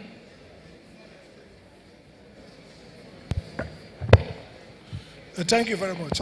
Just my last intervention will be to try to reconcile uh, Governor Fayemi and my Lord uh, Father. I, I, think I was telling Governor, I was telling Governor that he mentioned Claude Ake and basically supports the case I made. Because Claude's argument is that the character of the state is responsible for behavior, values of the state. So when my friend by, uh, Gloria talks about rule of law, let me give this information. Nigeria was the first country in Commonwealth Africa to have a Bill of Rights in its constitution in 1960. The first in Commonwealth. Today, Nigeria is still classified as a hybrid democracy because its politics is authoritarian. So why didn't the constitution generate fundamental rights? Because the constitutional transplant doesn't align with the character of the Nigerian state. A character of neo-feudal state whose pre uh, preference is prerogatives to elites, to traditional rulers, to priests, and not to citizens. So the Nigerian state is not a democratic citizenship, which means a state whose primary focus is on citizens per citizen. So these crises, whether it's of value, whether it's of rule of law failure, are just derivative crises of a fundamental character of a state. There are many types of states across the world. Every state determines what it produces in terms of values. Why would, for example, in many states, people who are accused of certificate racketing will not aspire for public office. Because the state cannot accommodate those contradictions. But in states like our own, which is a state built around privilege for rich, for powerful people, there is no contradiction that you cannot stomach. So I think the Nigerian politicians should just tell ourselves the truth. That we need to, this is not about, this is not about ethnicity, we need to reconceive the Nigerian state before it can become an efficient, productive state. State character determines justice administration, rule of law, determines even values, determines whether ASUU can shut down university for six months and ask to be paid salary. These are all constructs of a state character.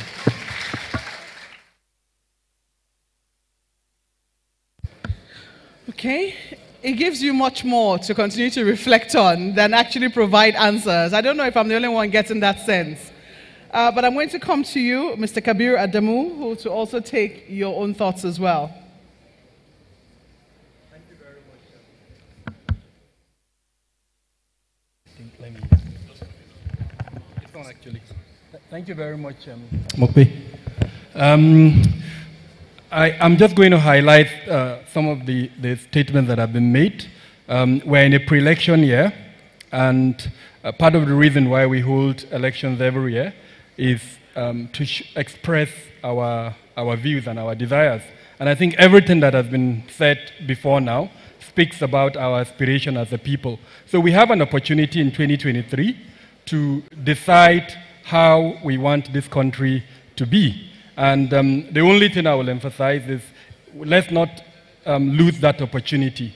The president has spoken about his commit commitment to a free and fair election. And in fact, he has demonstrated that commitment by the new Electoral Act and several other things that he has done. INEC is doing an amazing job. Uh, we're worried about security and how security could affect the integrity of the elections. But I must call on everyone, um, which is my closing remark, uh, let's make a commitment to a peaceful election in 2023 where the views and of the generality of Nigerians will be respected. If we do that, then perhaps we would have created the platform for the solution and to achieve this unfinished greatness that um, uh, His Excellency has provided. Thank you. Thank you very much, uh, Mr. Kabiru Adamu. On this note, I have to thank my esteemed panelists for your thoughts and your contributions, for your banter. I know that it's going to continue outside this hall, and I know it's all very healthy. Thank you so much uh, for, will I say, awakening in us a quest to reflect even more deeply about our country. Um, I have to thank Dr. Kayode Fayemi, the governor of Ekiti State and chairman of the Nigeria Governors Forum. Father Akinwale, you didn't quite, Anthony, thank you. Father Anthony Akinwale, former vice chancellor of the Dominican University in Ibadan. I also have to thank Dr. Sam Amadi. Thank you so much. He's the director of Abuja School of Social and Political Thought.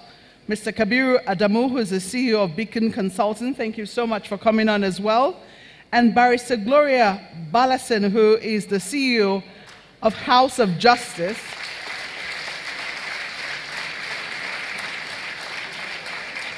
Thank you very much as well, Barrister Ballason. I'm going to leave us all with this thought. they're not my words. They're words I got from Dr. Joe Abah. It's very interesting how he started the review um, of this book, which I have now been gifted. Thank you, Dr. Fayemi, for the book. Um, he starts by saying, New ideas and initiatives are often viewed with cynicism and the preemptive evaluative judgment of it will never work It's passed on new initiatives before they even commence. Unfortunately, the pessimist is often right, and it doesn't work. When an intention is announced to tackle a problem, many commentators say, Talk is cheap. I know it won't be implemented. When people start giving testimonies that things appear to be changing, the refrain is often, That is not enough. Is this what we should be celebrating now when others are sending probes to Mars? Anyway, I know it won't be sustained. And when eventually the optimists point out that the new initi initiative has actually been working successfully for a while now, the next statement is, that is not our problem now. For me, unfinished greatness, the next step, I know that Nigeria is an ongoing conversation. It's going to be a conversation, a continual one between the pessimists and the optimists. What I'm going to ask of us it's not to determine where we will stand on either side, because I know that on certain days we'll be optimists and on other days we'll be pessimists. The question for me is to how we will be adding to the cup. You know, when they ask you this question of how you see a glass of water, a half glass of water, whether you see it as half full or half empty. However you see it, ask yourself, how are you going to be contributing to ensure that that water in that glass cup continues to get full? Thank you very much for listening, ladies and gentlemen. And happy birthday once again, Your Lordship.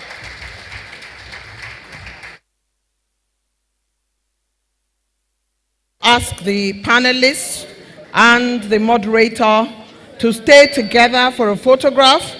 My Lord Bishop, may I invite you and the special guest and chair to please join in the photograph with the panelists.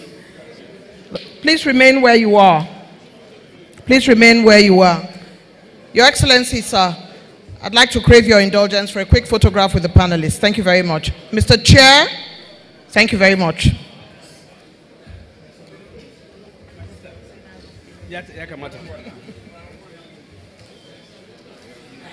And so this picture will be quick. A really quick photograph with the panelists. Okay. While this is going on, I'd like to call for a round of applause for a fantastic panel and moderation. It went very well. I'm very pleased. And now I can join the photograph.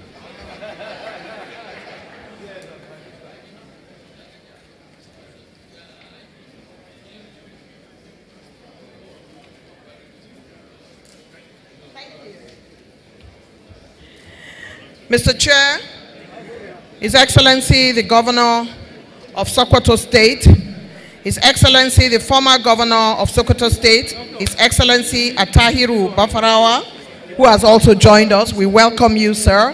Thank you for coming. Your Excellency, the special guest of honor. Thank you. Well done, madam. Thank you. Well done. I would like at this point to crave your indulgence to settle down, uh, please, and to announce that Nasarawa State University, where my Lord Bishop holds a very important position of Pro-Chancellor, has donated the sum of 1 million naira. Nasarawa State University the Deputy Vice Chancellor was here, Professor Saadatu Hassan Liman, Deputy Vice Chancellor Admin, has made that pledge of 1 million naira from the Nasarawa State University. I'd like to ask you to please look at your pledge forms and ensure that those pledge forms are filled. I'd also like to recognize and greet the Director General of Voice of Nigeria, Mr. Osita Okechukwu,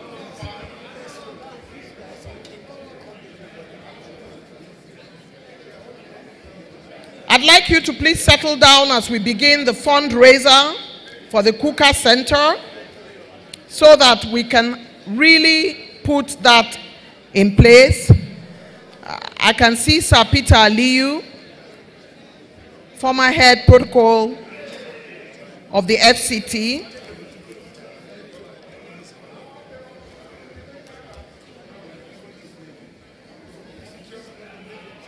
I'd like to call for those who wish to make their contributions to do so now. I'd like to call on the Finance Committee and the ushers to go around and bring me the pledge forms so that we can see what we have.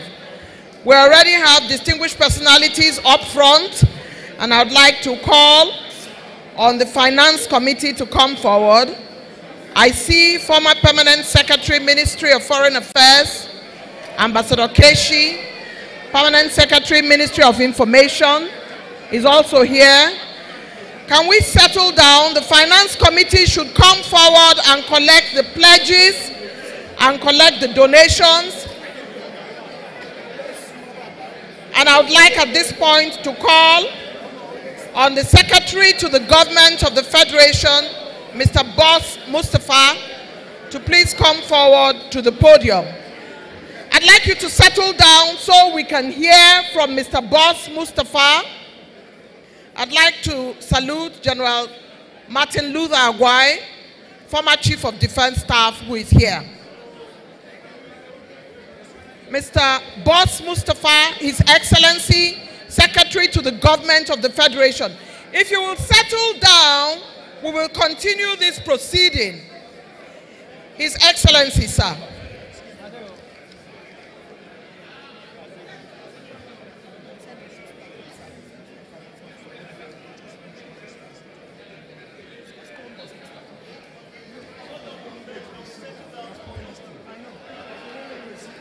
Please, can we sit and give due respect to the Secretary to the Government of the Federation, His Excellency Boss Mustapha.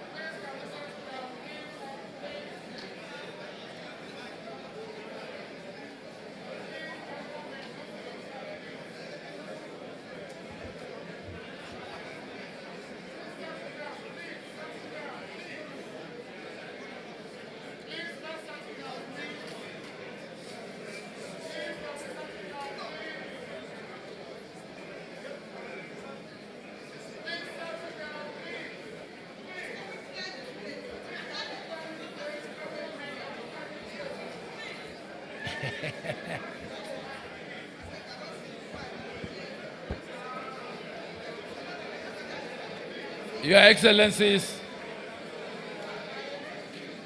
Your Excellencies, distinguished ladies and gentlemen, can you take your seats, please?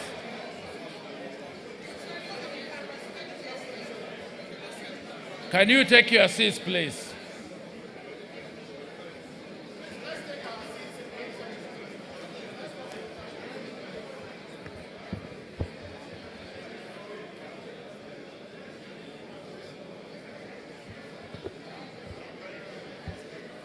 Your Excellencies, distinguished ladies and gentlemen, can you take your seats, please?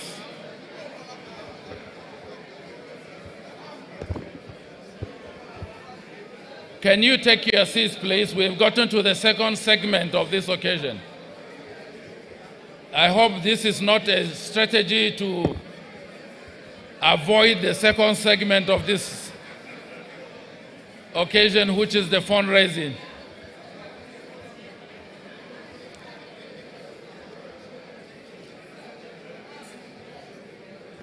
Your Excellency, the Governor of uh, Sokoto State, Right Honorable Aminu Tambuwal, who is the chairman of this occasion, Your Excellencies, the governors of the different states that are here gathered,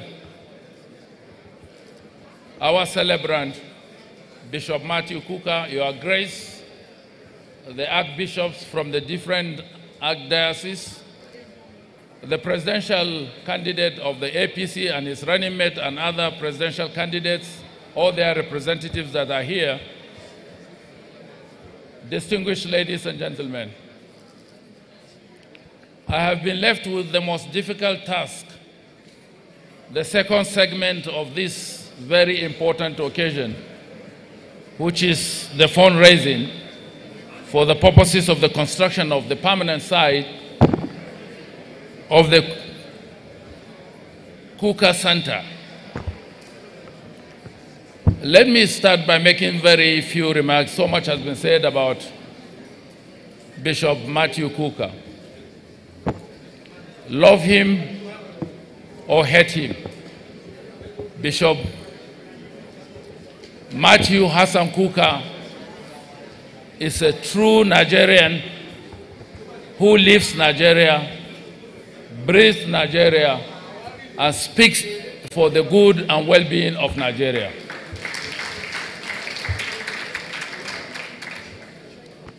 Whatever he says, you ignore it at your peril. But when you internalize it, it is for your good. My Lord Bishop Matthew Kukah, on the occasion very auspicious occasion of your birthday. Seven for that matter, three scores and ten.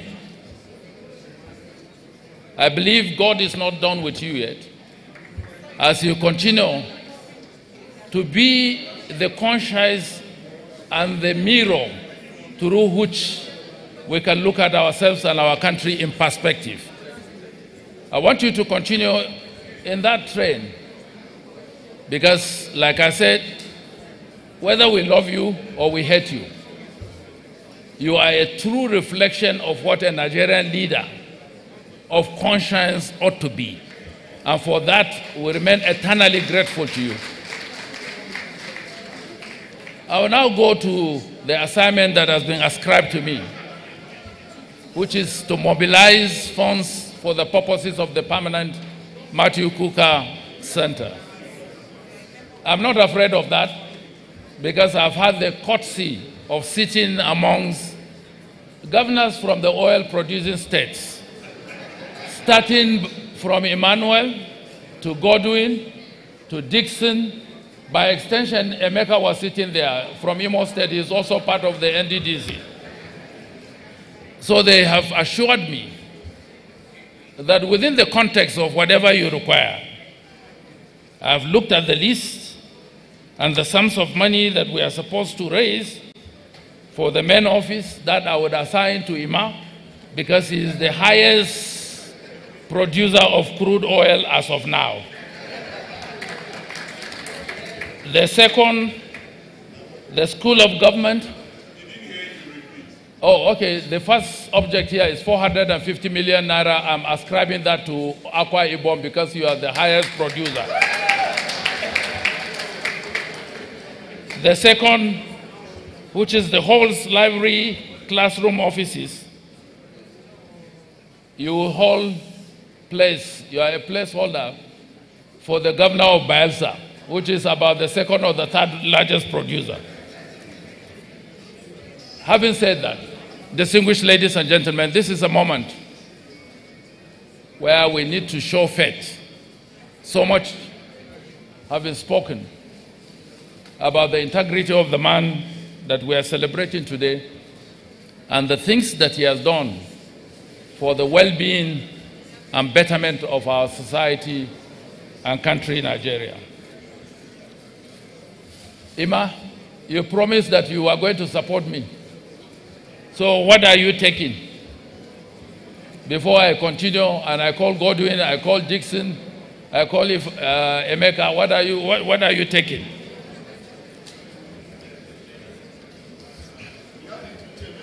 No, I will come to the chairman later. Your main chairman comes from an arid state. He's dealing with this, desertification. Let me now, with Jesus' joy, invite the governor of Akwa Ibom to open the floor with his own contribution for this purpose.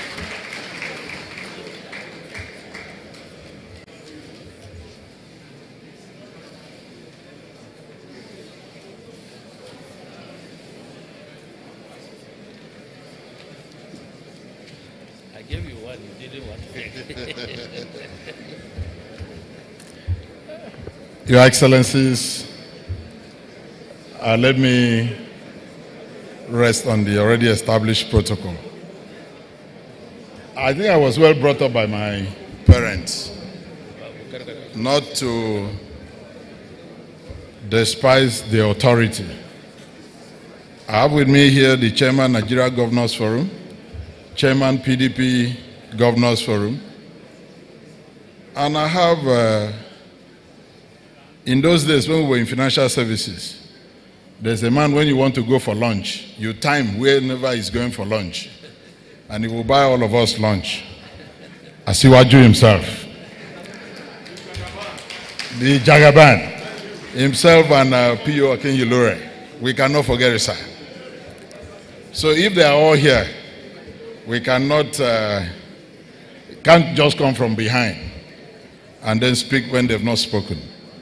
But be that as it may, for the respect I have for my Lord, the Bishop, somebody I respect so much, somebody anywhere I am, I use just two words to describe him character and charisma. And that will summarize everything that he stands for. Uh, for that respect, I want to believe that um, on behalf of my people, I will I have a check here for him, and trust me, it's something very, very good. God bless you. all. Do I give him the check, sir? Yes, sir. Don't announce. Okay.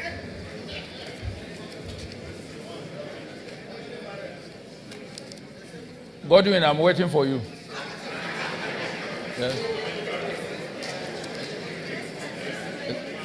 Come, come, come, come, come. We are waiting for you. Yeah, he's, uh, he's coming alive. Your Excellencies, Your Excellencies, distinguished ladies and gentlemen,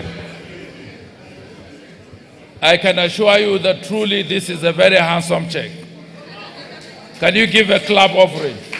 This is a very handsome check. Oh, yeah.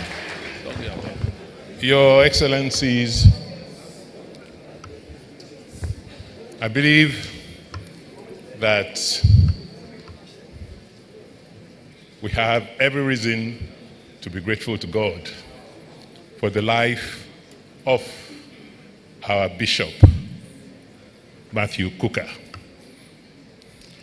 So much has been said about him today, and I believe we're all here to support his worthy cause. My brother from Akwa Ibom has led the charge. I'm surprised he only spoke about himself because our agreement is that from our zone, he's going to coordinate all of us. Because as I was coming here, the former governor of Bayelsa said, please note, the deputy governor who just left also has a message, announce his own. So I thought you were going to co- coordinate us. Um, but having not done that, for us in Edo State, Bishop Kukah means so much to us. And we cannot, we cannot do everything in one go. So today, I'm here to say, Bishop, thank you for your call last night. We have a commitment. It may not be as large as what Ibom has done, but it is significant. But beyond that, my, my job is to raise money. I'm now personally committing that I'm going to work with the foundation to go out there to raise funds for this center. Congratulations. How much? 25. Very good.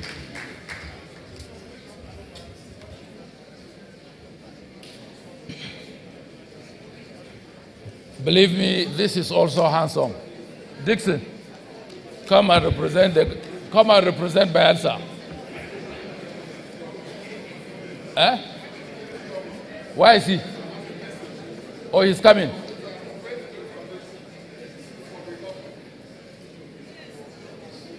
Okay. Chairman Governors Forum. No, you are not. Nobody has made any commitment on behalf of the governors. How much? No. Oh, yeah. Okay, I'm part of the planning committee, so my job is to generally join in raising the money. and I will make sure that my brother governors contribute handsomely, just the way Governor Udom Emmanuel and Governor Obaseki and Governor Bayelsa Douye Diri have done. I have a figure. You, for them. you have a figure for them? What is for the figure for the governors? Well, I have to consult. That's part of the unfinished greatness. Don't make decisions on behalf of Nigerians without consulting them. No, give me a Eh? Give me a figure. No.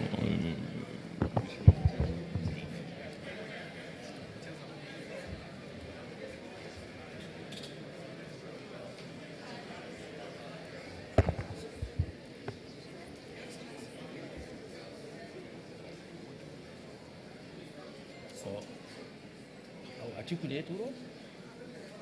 Eh.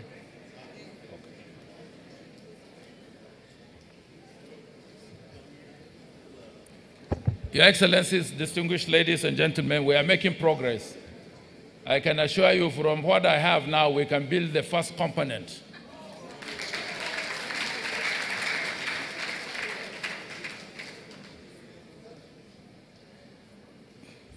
Yes, Chairman, Northern Governors Forum, Governor of Plateau State. Oh, you have pledged for everybody. Okay. Can I go to the chairman or whether he has a special pledge before I come to Jagaba? Eh? Okay. So you are coming under the cover of the chairman. It's an unfinished business. What I have here is part one. Okay.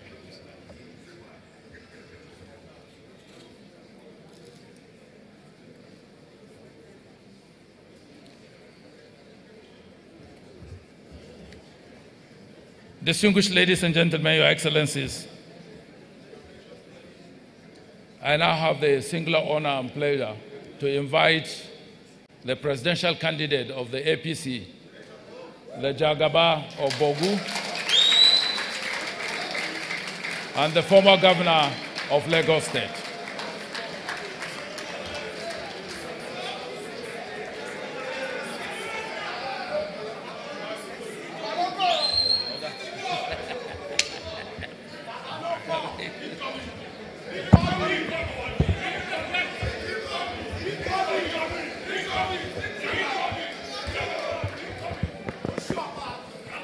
Your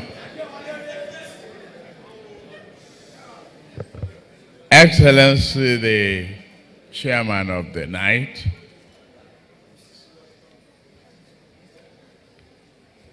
my running mate, and all the governors here present and head of states and parastatals, the clergies, and particularly the celebrant. The celebrant was a great author, a clergy, a hill of intellectual capacity. Yes, you are a short man. But I know one thing. No matter how short you are, you get out, you will see the sky.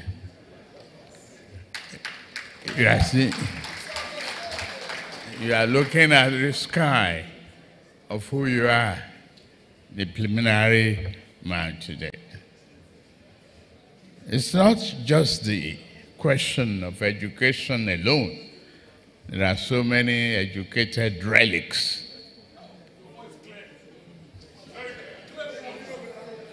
It's about the character, who you are, consistency. You've persevered.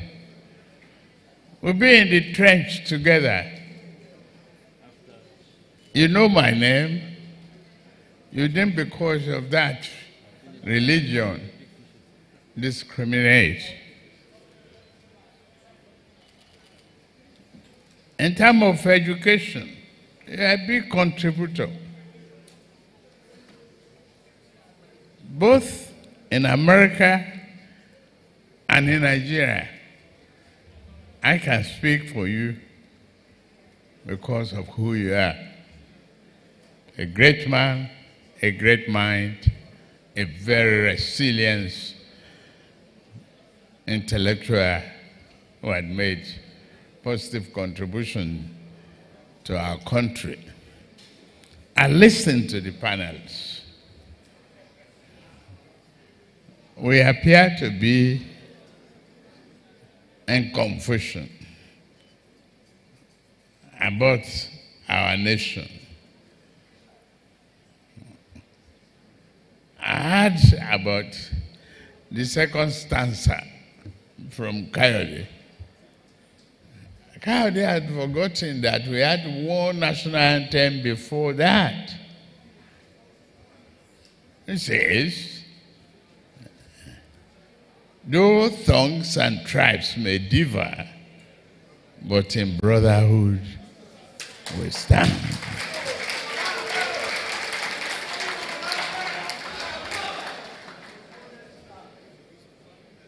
And he sent me the second stanza too. It's a pledge that Nigeria, I'm ready to serve. It's about service to this country. We inherited speaking in tongues from the Bible.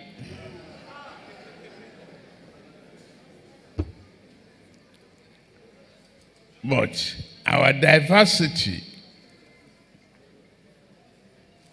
is a promise for prosperity.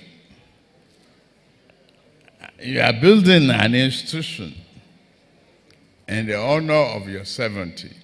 I am 72. I could say contribute. I'm just months older than you are. But Bishop, you will help build not the institution, but the greatness of a nation. It's on your shoulder, it's on mine, and we must build it together. I must, and I will, contribute handsomely personally to build and see to the completion of that institution because it reflects something. Thank you very much.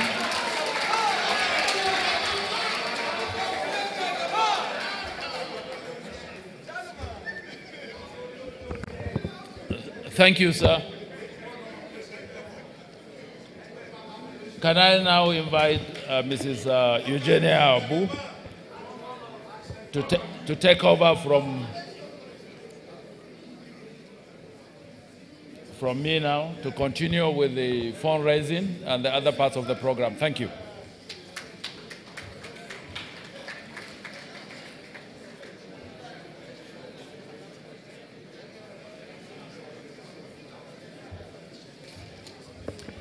Your Excellencies, distinguished ladies and gentlemen, what better man to lead and inaugurate the fundraising than His Excellency, the Secretary to the Government of the Federation, Boss Mustapha.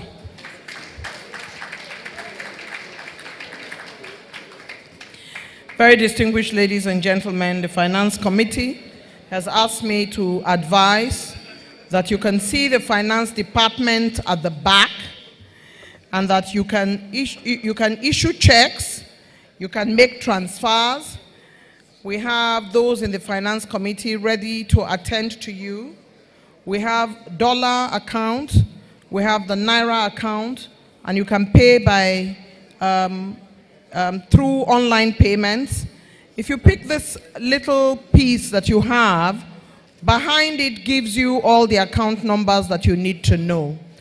I'd like you to first of all greet, salute, and celebrate all those in the forefront from the governors who have come here today, to the APC presidential candidate, to Nasarawa State University, to all those who have made their way here and made commitment to this beautiful edifice that we're going to have as a KUKAH Center. Let's give them a resounding round of applause. Distinguished ladies and gentlemen, the pledge cards are on your seats, and you can then um, ensure that you are able to make the donations that you would like to make. I'd make a quick round in 30 seconds of those I have outstanding here, and then I'm going to ask Father Barkindo to come and talk to you about the center. In a couple of minutes, he will tell you about the center. You will know what you are committing to when the architect also shows you the images. And this is not going to take time at all. We have church dignitaries, Most Reverend Stephen Dami, Bishop of Yola Diocese, Most Reverend Johanna Bulus, Bishop of Kontagora Diocese, Reverend Father George Husani, former Secretary General, Catholic Secretariat, Monsignor Michael Ekpenyong, former Secretary General, Catholic Secretariat, Reverend Father Uche Chuku Obiechina, Executive Secretary, Veritas, Reverend Father Zachariah Samjumi, Secretary General, Catholic Secretariat, representative of the NBA, Nigeria Bar Association, President YC Mekel is represented by Linda Bala. First Vice President MBA is here. Bishop Julius Kindu, Bishop of Kafanchan Diocese, uh, home, uh, home bishop. I already saw General Martins Luther Agwai, who is here with us. The presidential candidate of African Action Congress, Omoyele Showore, is here with us. Architect Echono, Executive Secretary TETFund, and I saw, if he has not already left, High Chief Raymond Dokpesi, who has also made some contributions by giving airtime. I'd like to thank all those who have come, and at this time, I'd very much like to invite um, you to go to the finance department, fill the forms, issue a check, transfer some money so that we can support the center. Please help me welcome for the presentation of the KUKAH Center permanent site, the Executive Director of the KUKAH Center, Father Atta Barkindo.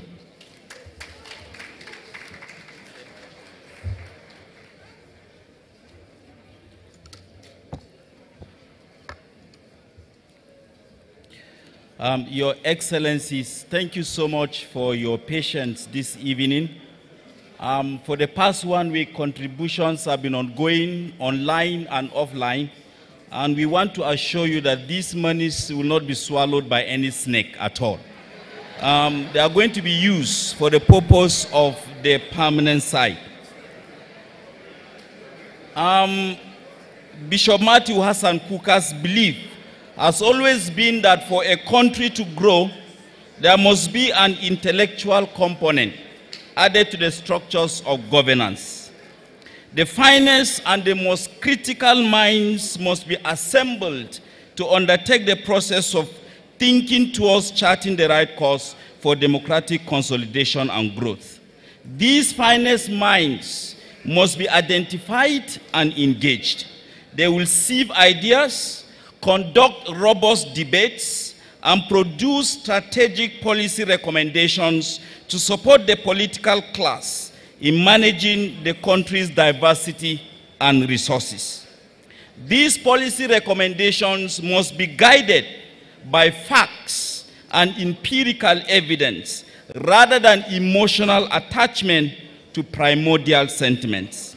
And it was for this very reason that in 2008, Bishop Kukah Hassan engaged a group of friends in Kaduna and the Kukah Center was established.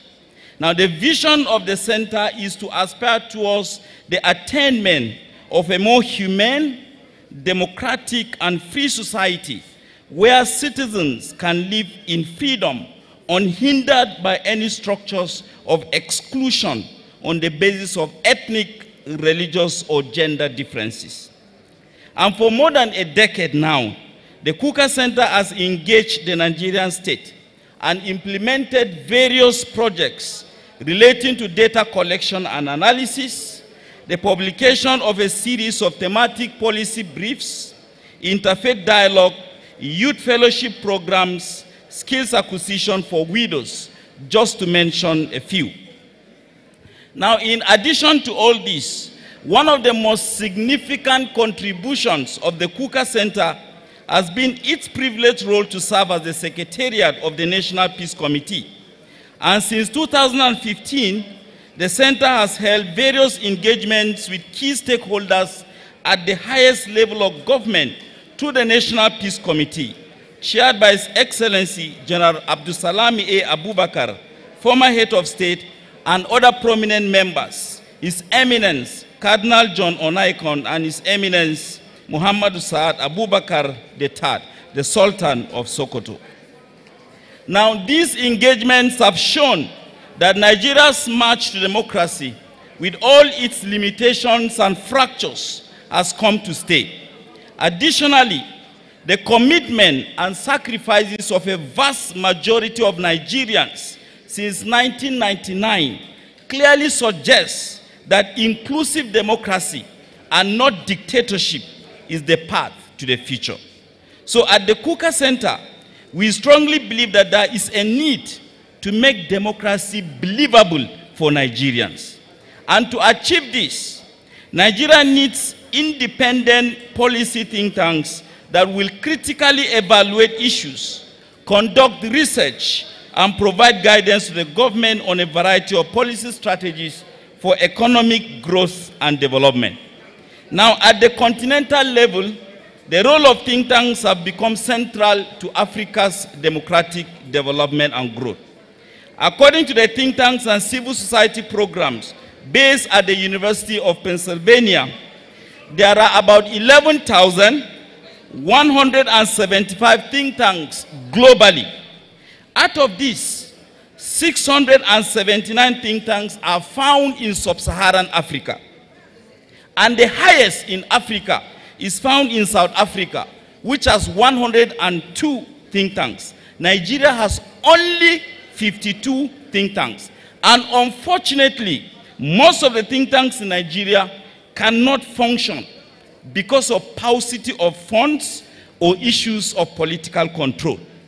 Consequently, the Kukah Center exists as an independent research and public policy think tank that functions without undue political influence and is intended to become a globally recognized entity that should act as a bridge between the academic community, policymakers, stakeholders, and the civil society.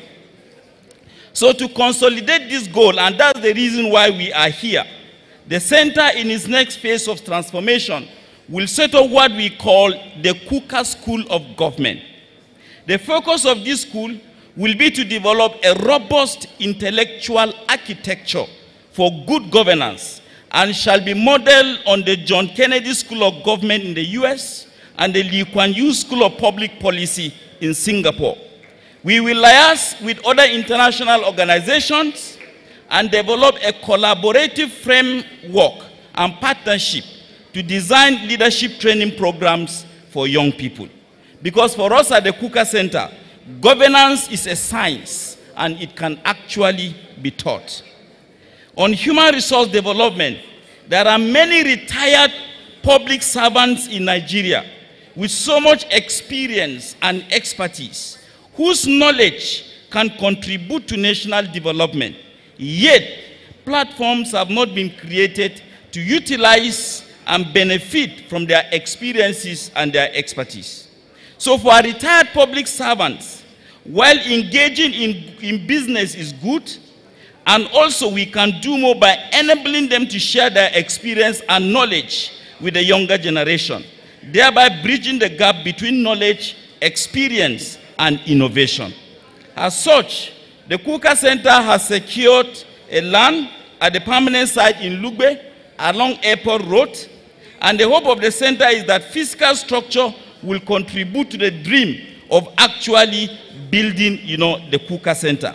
One thing we are proud of at the Kuka Center is that 98% of our staff are young people between the ages of 21 and 35. And importantly, 70% of the staff are actually women. So on a concluding note, I would like to recall an interview of Bishop Kukah on Arise Television on 13 of June 2022. Bishop Kukah was asked, Bishop, are you afraid for your life with everything that surrounds you? Are you not afraid that one day you could be killed or assassinated? Bishop Kukah paused a little and with a very cynical smile from his mouth, he said, I am not afraid of death. I'm only afraid of breaking the law. For me, that was a very powerful and a very profound moment. In a country where breaking the law has been institutionalized, we still have someone who is afraid of breaking the law. So I want to thank this little village called Anchuna, a tiny sleepy village in southern Kaduna, where Bishop Kukah comes from.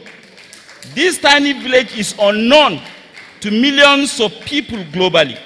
But if you want to know and understand why Bishop Kukah is the way he is, I advise you, go to Anchuna, visit Anchuna, and see Anchuna. So finally, on behalf of the staff of the Kukah Center, our funding and development partners, as well as the planning committee, we want to thank Bishop Kukah for what he has done for the church, for our country, and for Nigerians. Bishop Matthew Hassan Kukah, happy birthday, my Lord. I think 70 years looks very good on you. Thank you very much. So now we invite our architect who will come and explain a bit. Okay?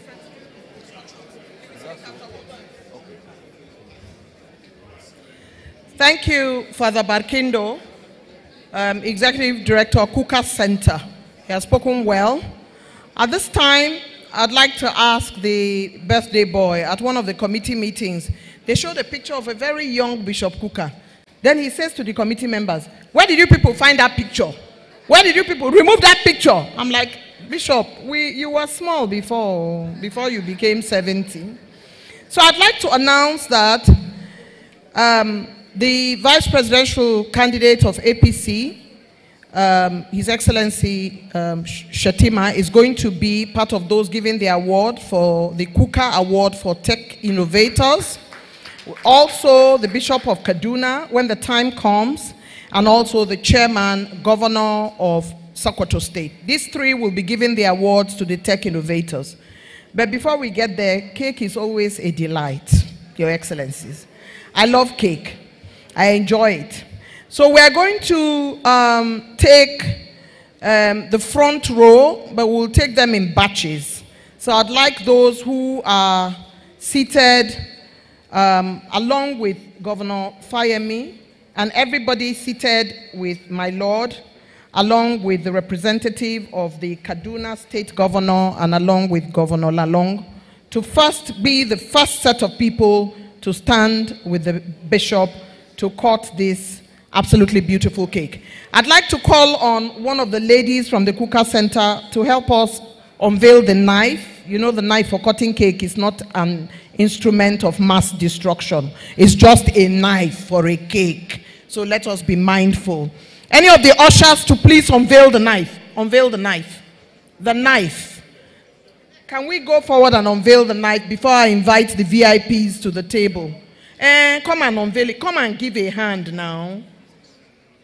Abi, these are the ladies who are to go and bring Bishop Kukah. They work at the Kukah Center. They believe in him. Oh, yeah, go and bring Bishop Kukah now, the two of you, and bring all the VIPs to the table. There you go. A round of applause for the birthday boy.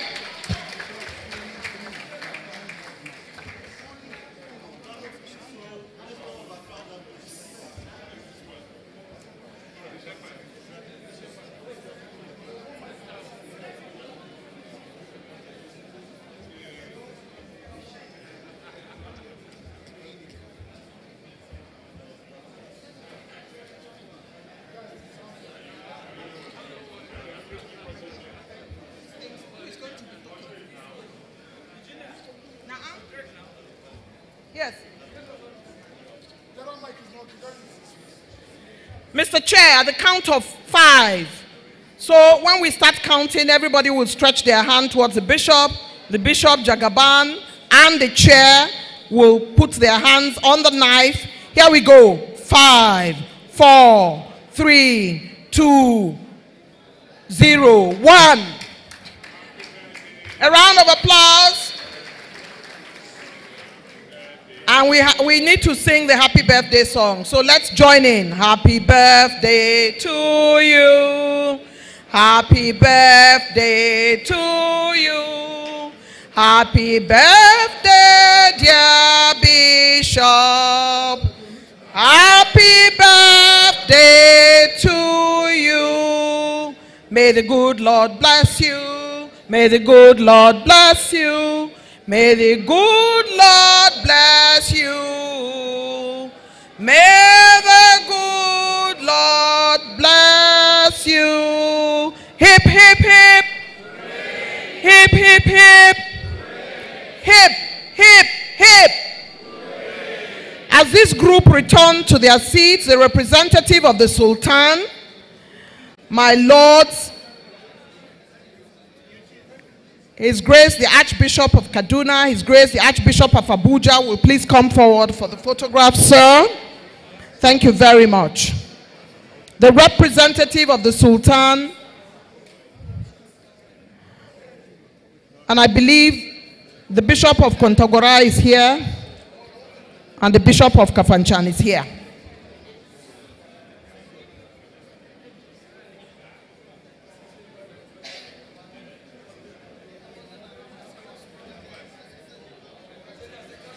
This is the second batch of the cake cutting. I'd like, I'd like you to please step forward and join him. My lords, their graces. Please, sir.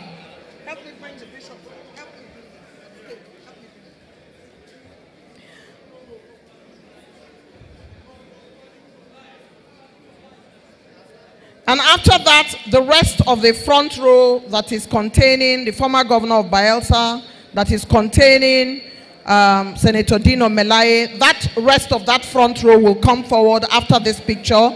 Please be ready. And I'd like to ask His Excellency, former governor of Bayelsa State, to be ready to lead that team over here. Thank you very much.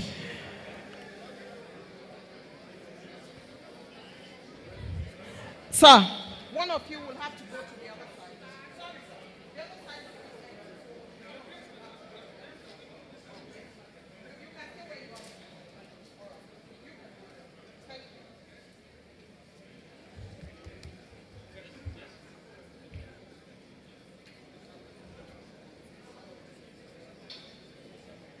you. His Excellency, the former governor of Bayelsa State, distinguished Senator Dino Melaye, and all those in that row will come forward in a short while. For he is a jolly good fellow, for he is a jolly good fellow, for he is a jolly good fellow. And so say all of us, and so say all of us, so say all of us, for he is a jolly good fellow, for he is a good, good fellow, for he is a jolly good fellow. And so say all of us. Former Chief of Defense Staff, General Martins Luther Agwai, will join this photograph, please. Thank you very much.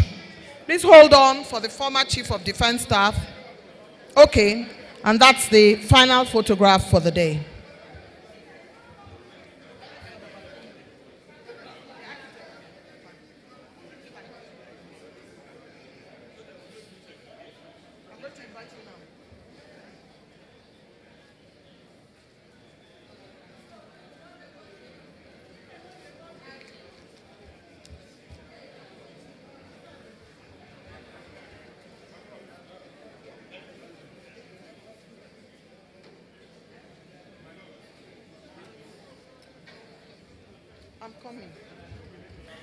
Can I call the religious that are in the house, Reverend Fathers and Reverend Sisters, to please come forward?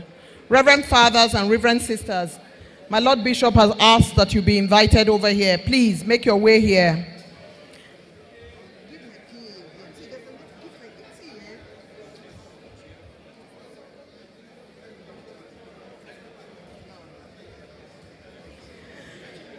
After the Reverend Fathers and Reverend Sisters, we're going to have all committee members. Where are the committee members who have worked so hard?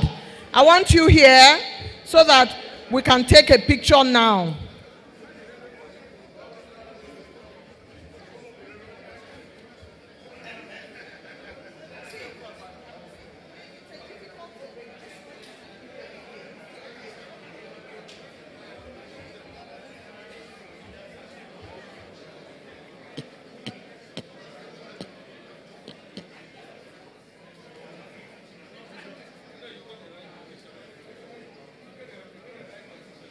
I'd like to see committee members. They would take the last photograph. Committee members, please.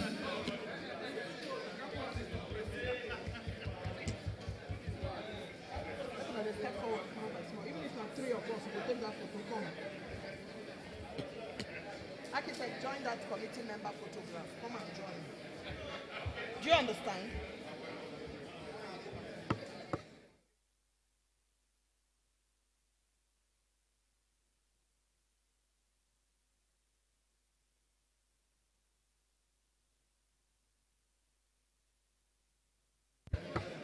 I'd like to recognize Southern Kaduna professionals in the house with us. Let's give them a round of applause. I'd like to ask the priests to please give way. We need to settle down. Priests and reverend sisters, give way so that committee members can take a photograph. Committee members.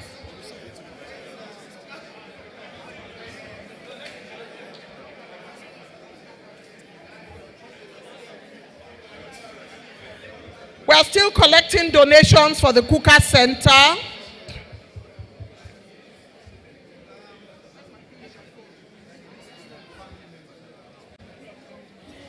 My Lord Bishop wants his family members that are around so that they can take that photograph.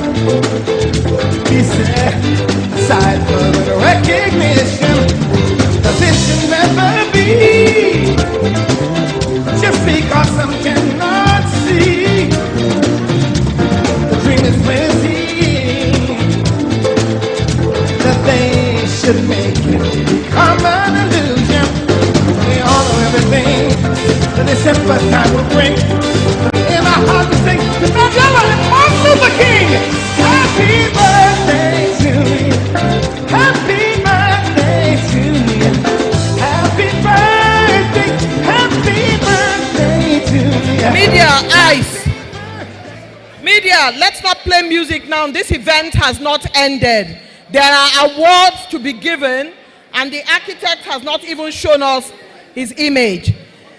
There are awards to be given. There are awards to be given. Please return to your seats.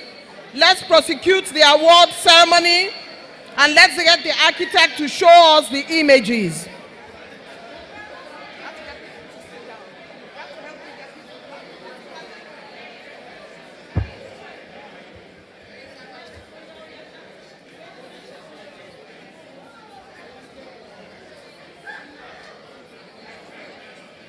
I'd like you to please settle down so that we can have the award ceremony. And please remember that we have an architect that will show us the images in a short while.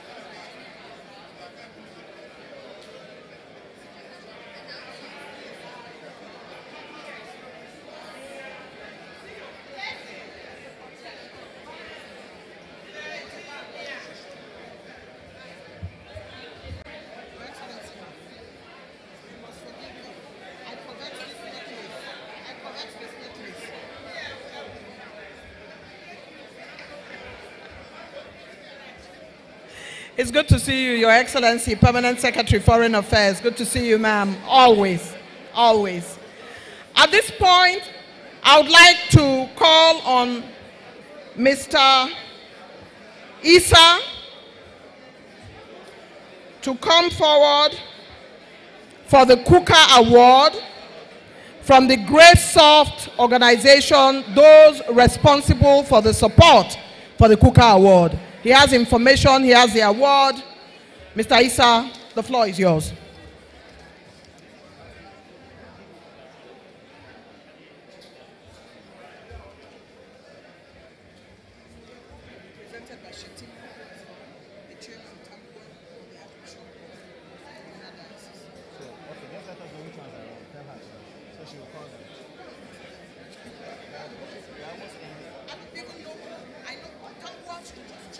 Okay. Hello, good evening, everyone. Can we please be seated? This is a very important part of the event. Let us all please be seated. Hello.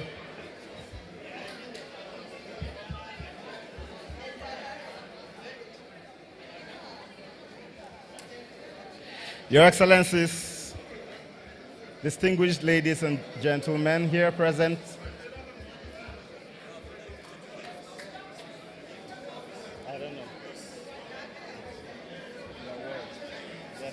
much noise.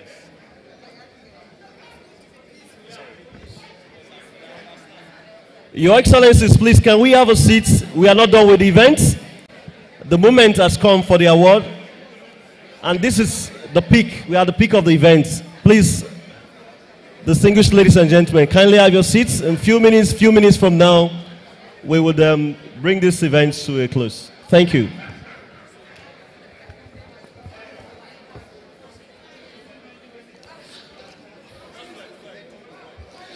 Okay, this award is as important as what it represents. It represents the values of Greysoft Technologies as well as what Bishop Kukah represents.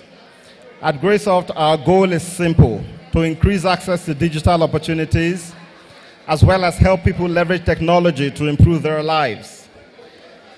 The person of Bishop Kukah is very imperative to what the award represents, in that he represents three things. Bishop Kukah represents faith, leadership, and public policy, which is all geared towards democracy. And that is freedom right there the freedom to contribute to societal, community, and national development. It is on this backdrop that knowing fully well that the African continent is a population of 1.2 billion and Nigeria being one sixth of that population, wields the power to drive true meaning for what the word transformation really represents. And we know this because 70% of the African population are youthful. We know that if we can empower the youth who have two things time and energy, they will, as a matter of fact, transform the nation. And it is on this that Bishop Kukah, at 70, decides to partner with Greysoft to leave a legacy, a legacy to the young Africans. This award today is the maiden edition of the Kukah Prize for Young Innovators, which is an award of recognition for young innovators whose ideas or startups hold the power to transform their communities or the world at large. Today marks a very memorable day and, that, and one that will be remembered for all time. Today we start something that is unprecedented. We start something that we hope by God's grace will outlive us, would outlive Bishop Kukah himself something in the likes of the Nobel, Nobel Prize, something to look forward to. Because what's important is not so much as the price, the cash gift that they get. It is the network that they have, the support system. The partners that we have for this award includes Microsoft. And so the winners haven't developed an idea are going forward to have partnerships with organizations like Microsoft with access to senior engineers at the Microsoft Africa Development Center to develop these ideas into global brands. So, ladies and gentlemen, finally, I want us to, with a clapping of hands, recognize what today stands to be a monument for all times. The Kukah Prize for Young Innovators.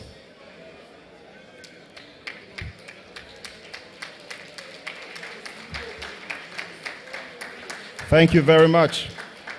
And with that clapping of hand, I, I want to just implore us to please have our seats. Just have our seats. Please sit down while we see this award come through. I'm going to call on um, my colleague, Ms. Aramide Abe to take over the presentation of the award. Thank you.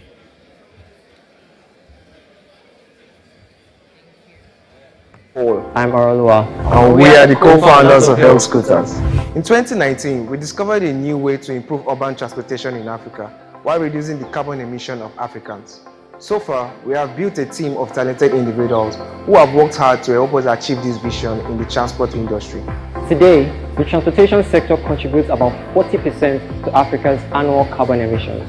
And with the ever-growing population, there is a new demand for a transport alternative that is flexible, affordable, and carbon neutral. Our solution is a ride-sharing network of electric vehicles and by using IoT technology, we've developed a cross-platform application that allows users to easily find and access electric vehicles within their community using three simple steps. All you have to do is scan, pay, and ride. Using this approach, users no longer have to wait for a bus and they pay less on every single ride while still reducing their own carbon footprint. With help, we have the opportunity to do more by improving the way Africans live their life and travel every day. Thank you.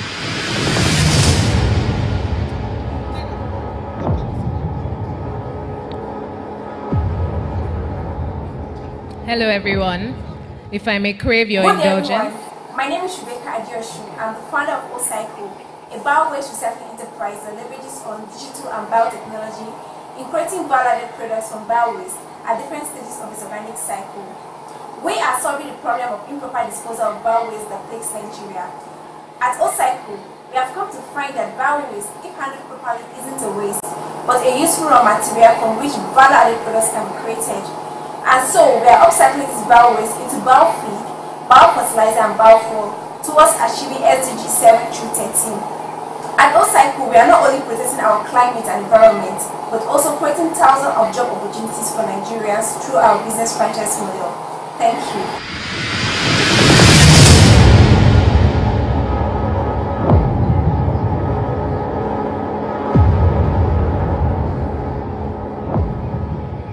Venue is a company dedicated to ending period poverty and promoting plastic-free periods all around the world, especially in developing countries. Here at Venue, we have developed a sanitary pad that is biodegradable, chemical-free, and plastic-free. This pad is made out of banana stem agro waste. It is very affordable for girls and women. My name is Esther Oluwabumi Olalude. I am 20 years old and I am the CEO of Venue. Sanitary pads are a major contributor to plastic pollution. This is because most pads are made out of 90% plastic and are used by billions of women all over the world. Here at Venue, we utilize the biodegradable fiber from banana stems by cutting the stems. These fibers are then treated and processed into a wool-like material that forms the absorbent core of our pads. The Venue sanitary pad is environmentally friendly and completely decays within six months.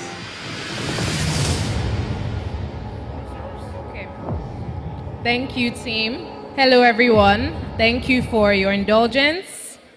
Uh, so, as we move into the award ceremony now, I'll very briefly just call up our dignitaries.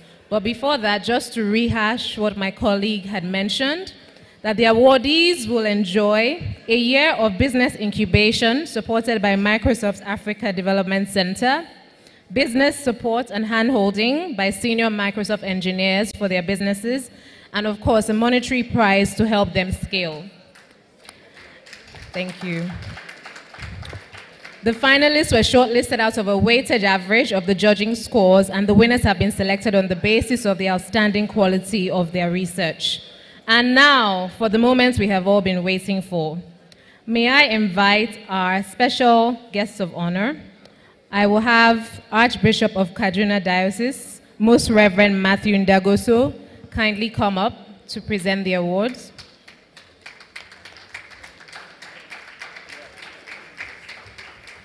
Secondly, General Agwai, if he can kindly come up as well. Please give him a round of applause as he mounts the podium. And thirdly, last but not the least, Professor Viola Onwuliri, if she can come up as well to hand the awards. Professor Viola Onwuliri. Is she here? Okay. Please give her a round of applause as she comes up.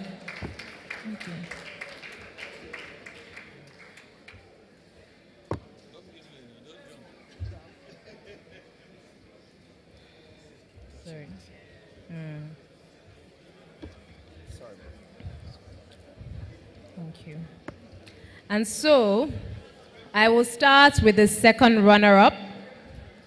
Help Scooters, a team of young gentlemen. Can we have you up, please? They will be winning, like I mentioned, all the support and incubation, but more so, a check of 500,000 naira. Give them a round of applause. A team of young gentlemen, Helg Scooters. Please continue clapping for them as they come up. These are young, vibrant innovators. Congratulations.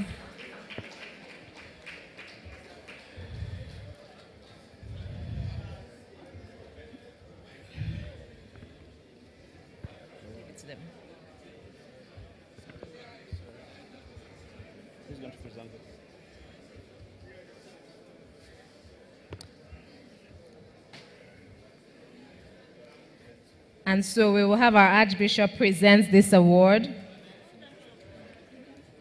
to the team Helg Scooters. Congratulations.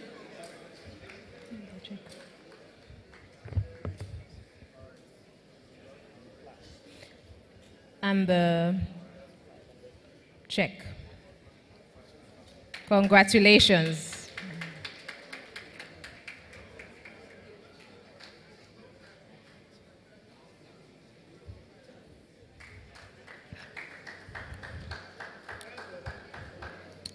And after the pictures, can we have the HELG team just stand on the other side so that at the end we'll have our celebrants come and take pictures with all, all of the winners.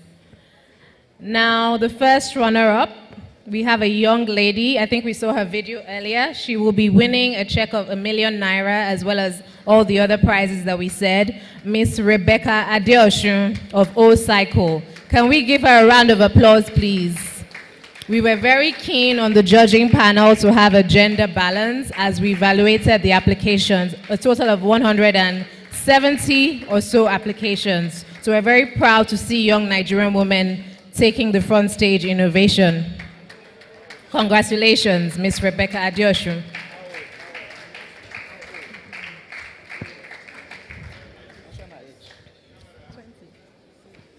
20 year old Miss Rebecca Adeoshun. Congratulations. Will be presented her award by Professor Viola Onwuliri.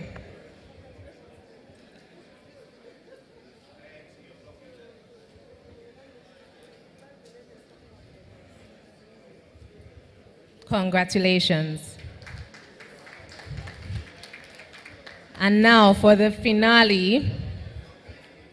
Okay, sorry about that. There's a check, live and direct, of a million naira, courtesy the KUKAH Center and Greysoft Technologies. Okay. And now the grand finale, the first prize, the winner is a young lady. I think we also saw her video. Very inspiring enterprise.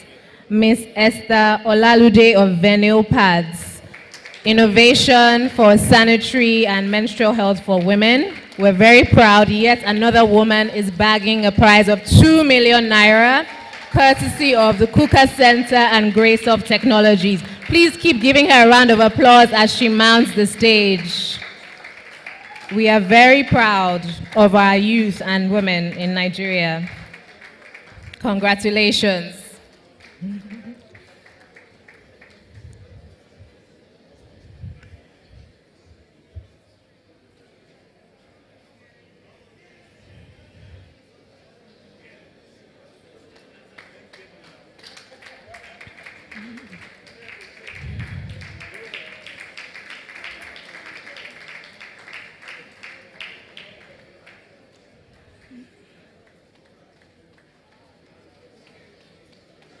There she is with her prize. And finally, while it's not a youth award in itself, we as the judging panel um, recognize that there has been a massive brain drain in the country. But at the same time, there are benefits of this. You know, you can look at it from the other side where there is an upside. We chose to look at an innovative professional abroad um, contributing to the advancement of technology in developing countries. So through a very grueling due diligence process, reviewing um, the work and the research that this academic had carried out in the areas of um, novel research for hydrocarbon solvent uh, um, work, Dr. Jude Onwudili will be receiving an honorary award today for innovative services to the advancement of technology transfer to developing countries. Please give him a round of applause. He's a senior lecturer in chemical engineering at the Department of Chemical Engineering in Aston, University of Birmingham, United Kingdom. And we're very inspired by all his work. It's such a mouthful. He's recently put together and filed a patent for his research.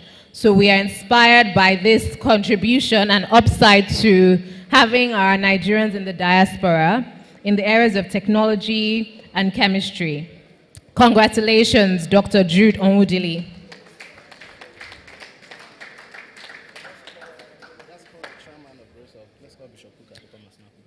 Can we now have the chairman of Greysoft Technologies and our father, Bishop Kukah, to come and take a picture and congratulate the winners? Please, please give him a round of applause, being our celebrants.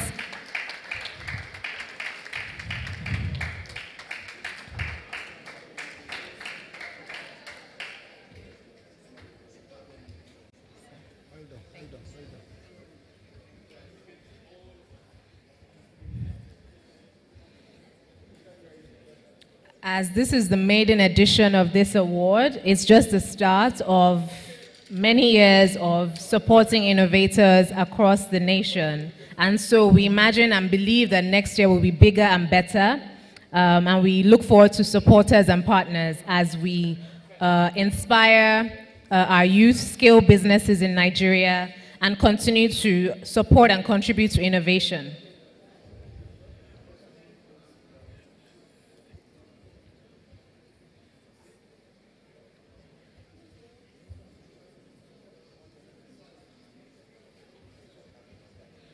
So we are having a family photo.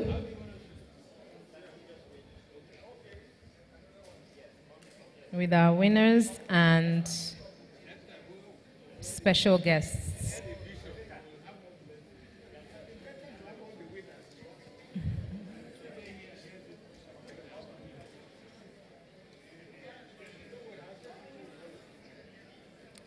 The Kukah Prize for Young Innovators Award to recognize young Africans who have shown exceptional promise as developing leaders in digital transformation. Can we give them a round of applause again, please?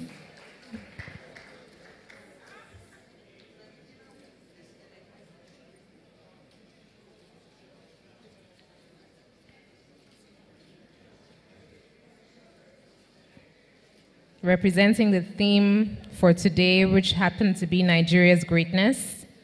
Greatness can be common. And so we look forward to celebrating more youth in innovation.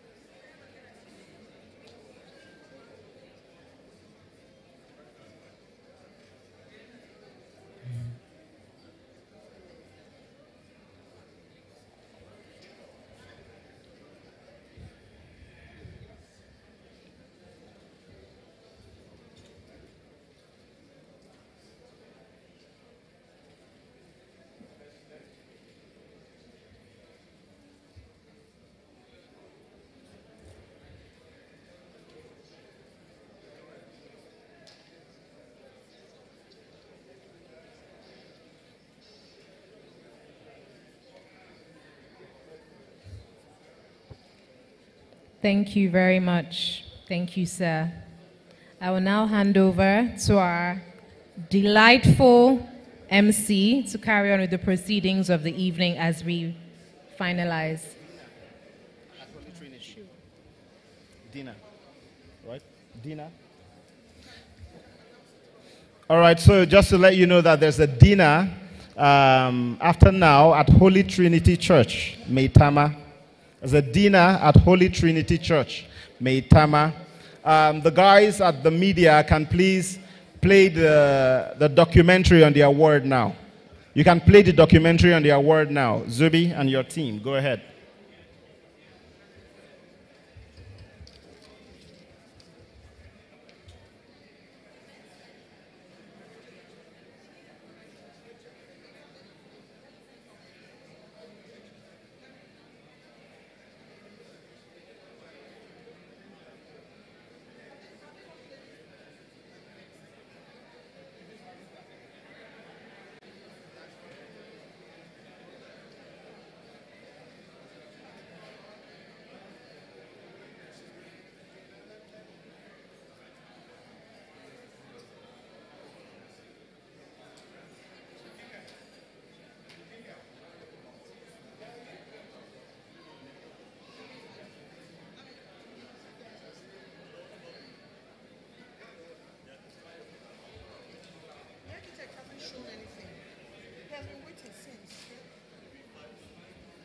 Your Excellencies, distinguished ladies and gentlemen, point of correction, the dinner is in fact at the Holy Trinity Event Center.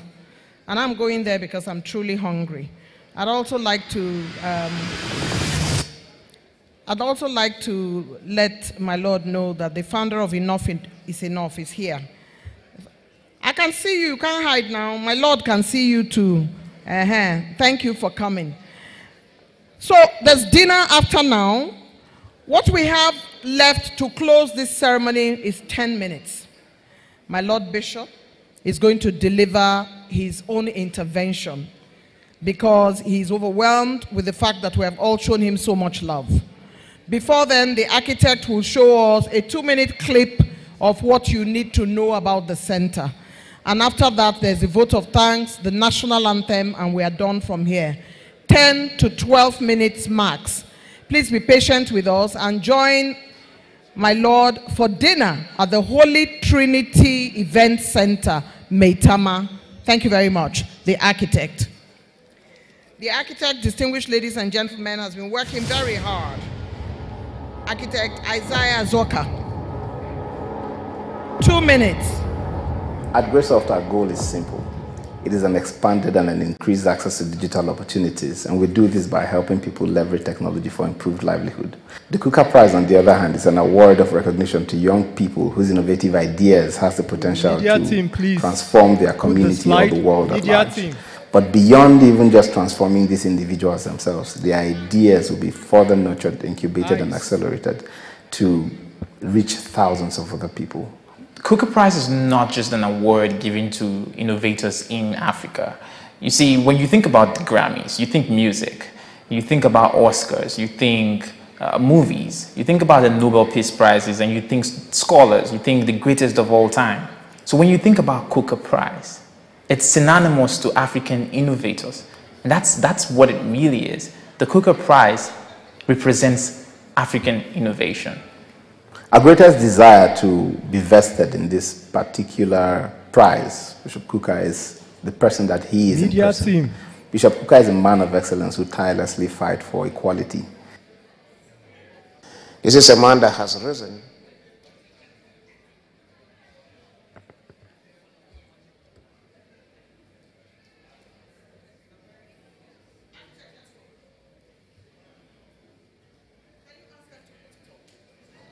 Media team, could you kindly put the slide on? Okay, I'll uh, permit me to stand on existing uh, protocols. I'll kindly take you through the design for the Kukah Center so that you will see what, like Father said, your money will not, what your money will be used for, knowing fully that your, your money will not be eaten by rats or insects. So the site is located off the airport road, as you can see in the, uh, the map above. Now you can see the, the complete site plan. Uh, I would like us to put our hands together for the bishop. The reason I said we should put our hands together for the bishop is earlier he was called a priest first, but I think we can also call him an architect. So please let's clap for him well. Because at every stage of this design you're seeing, the bishop's input was highly there. If you notice from the site plan, you will see that most of the buildings either look like a U or a H. It's simply because the, the bishop wanted something that will show unity.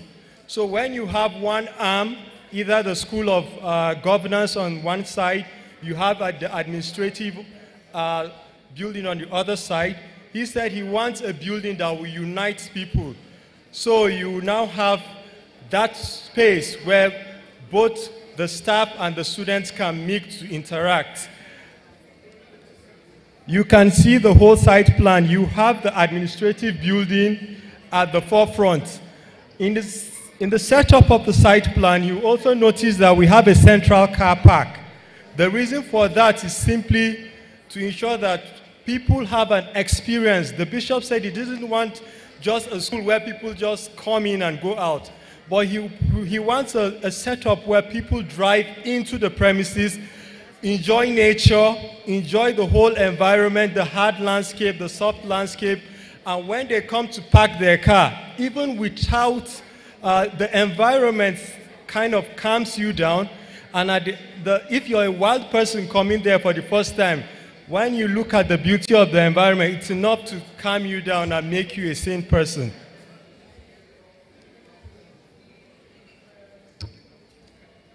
Here you have the picture of the administrative building. You have on one arm, like I said, you have the School of Governance.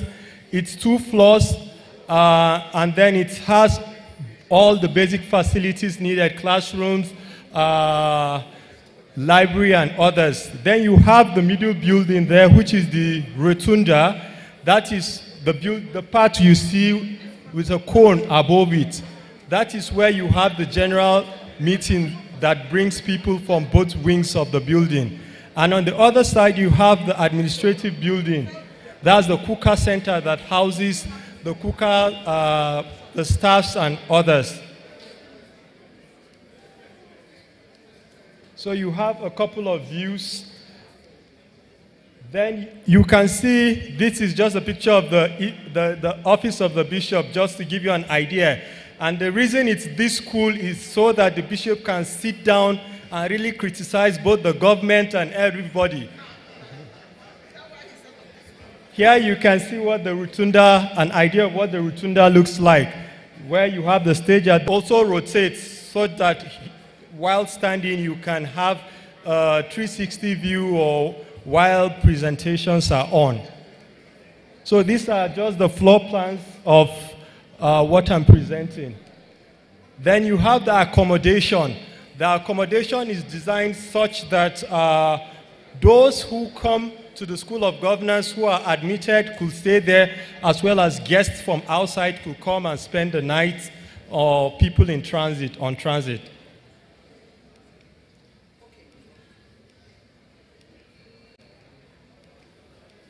And then you have the art gallery.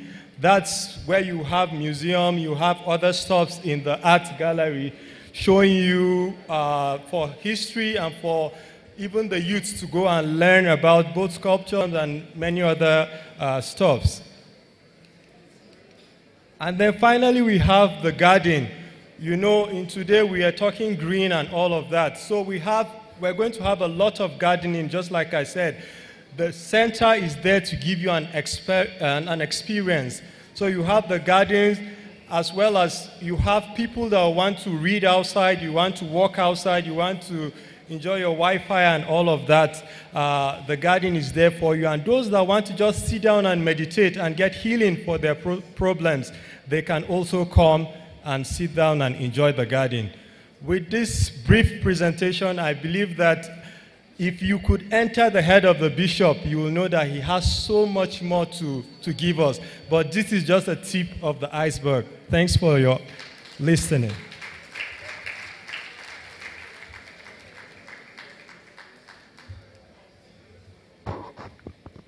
Distinguished ladies and gentlemen, I'd like to call on Mr. Raphael Issa to please introduce our next act, which is a music performance, um, and he has all the details. Mr. Issa, where is he in the room? Has he stepped out? There you are. Mr. Issa, come and announce this person. Come, come, come, come. You have the details of this fantastic performer. And we can't be talking without having a little bit of music. So he will perform a little bit, then the bishop will speak, we'll take the vote of thanks, and we'll go and eat. We'll go and eat in a short while. Please help me bring him to the stage. Thank you very much. Good evening once again, everybody. Jordan Bangoji is the son of the soil in Kaduna State. And in the just recently concluded Nigerian Idol, he was one of the finalists. He's someone whose voice has all that it takes to get you listening. Very importantly, he's not just a songwriter, but one with meaning. If you understand him like I do, you will. Help me put your hands together as I bring him up stage. Jordan Bangoji.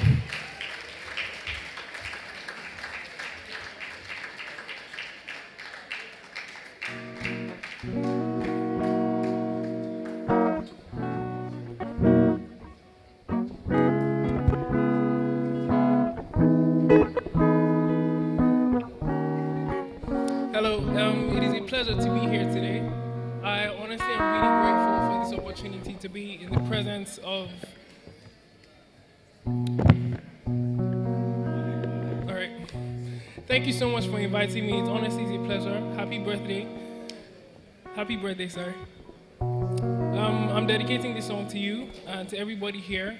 I know that Nigeria has taken a lot, and I'm sure that you have too. Um, your life has been a light unto each and every one of us in this room, and I just pray that for the rest of your years, that you will be protected, covered, and provided for. In Jesus' name, Amen.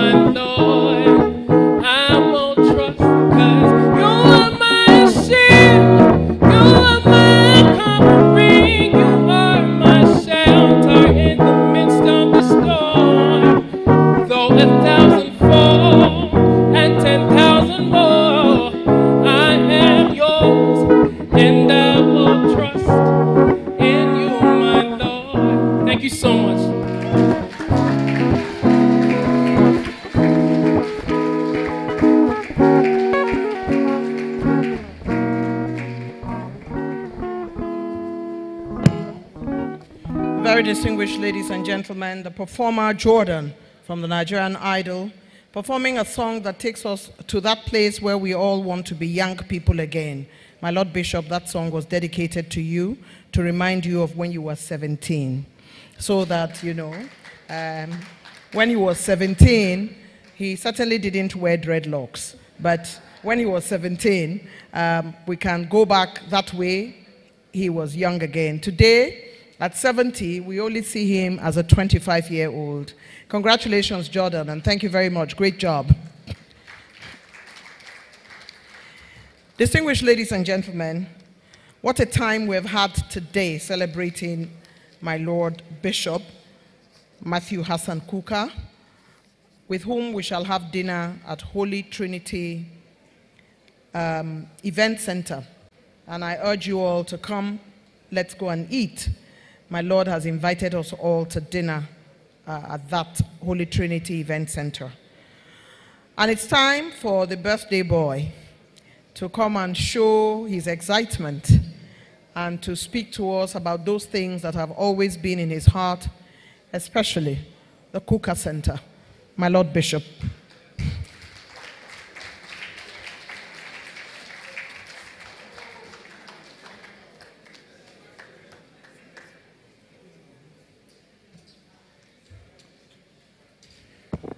Well, thank you very much, Eugenia. I think you have, uh, let me on behalf of everybody, repeat what you already know yourself. You are really and truly the best.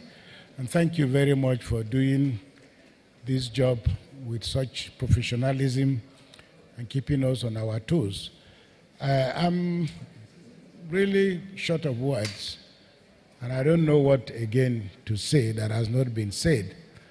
But I really feel vindicated that from the words of the nuncio to Archbishop Kaigama to the last person who spoke, that at least with me you have an idea about where you stand. It is our job as priests, and if you look at scripture, uh, from John the Baptist, I mean, if Jesus Christ had kept his mouth shut and just went around healing people, curing them of all their diseases and feeding the hungry and doing everything that needed to 60 or 70 or 100, but he would not have fulfilled his mission. Our responsibility as priests, and we do it differently. People always think that, uh, and I quarrel with a lot of people to explain that, look, I am convinced that I am an average student. Um, the only thing is that I have strong convictions, very, very strong convictions about things I believe in. And it borders on stubbornness, but somehow this country doesn't leave you any room to do anything differently. Our job as priests and agents of the gospel is to comfort the afflicted. That much we know. But we also have a duty to afflict the comfortable. So, so, we comfort the afflicted, but we have to afflict the comfortable. So those who sit in comfort uh, must understand that there has to be, because there is a correlation between their enjoyment and our suffering, as we can see. So he repent them. I've forgotten the way Wike puts it. Eh?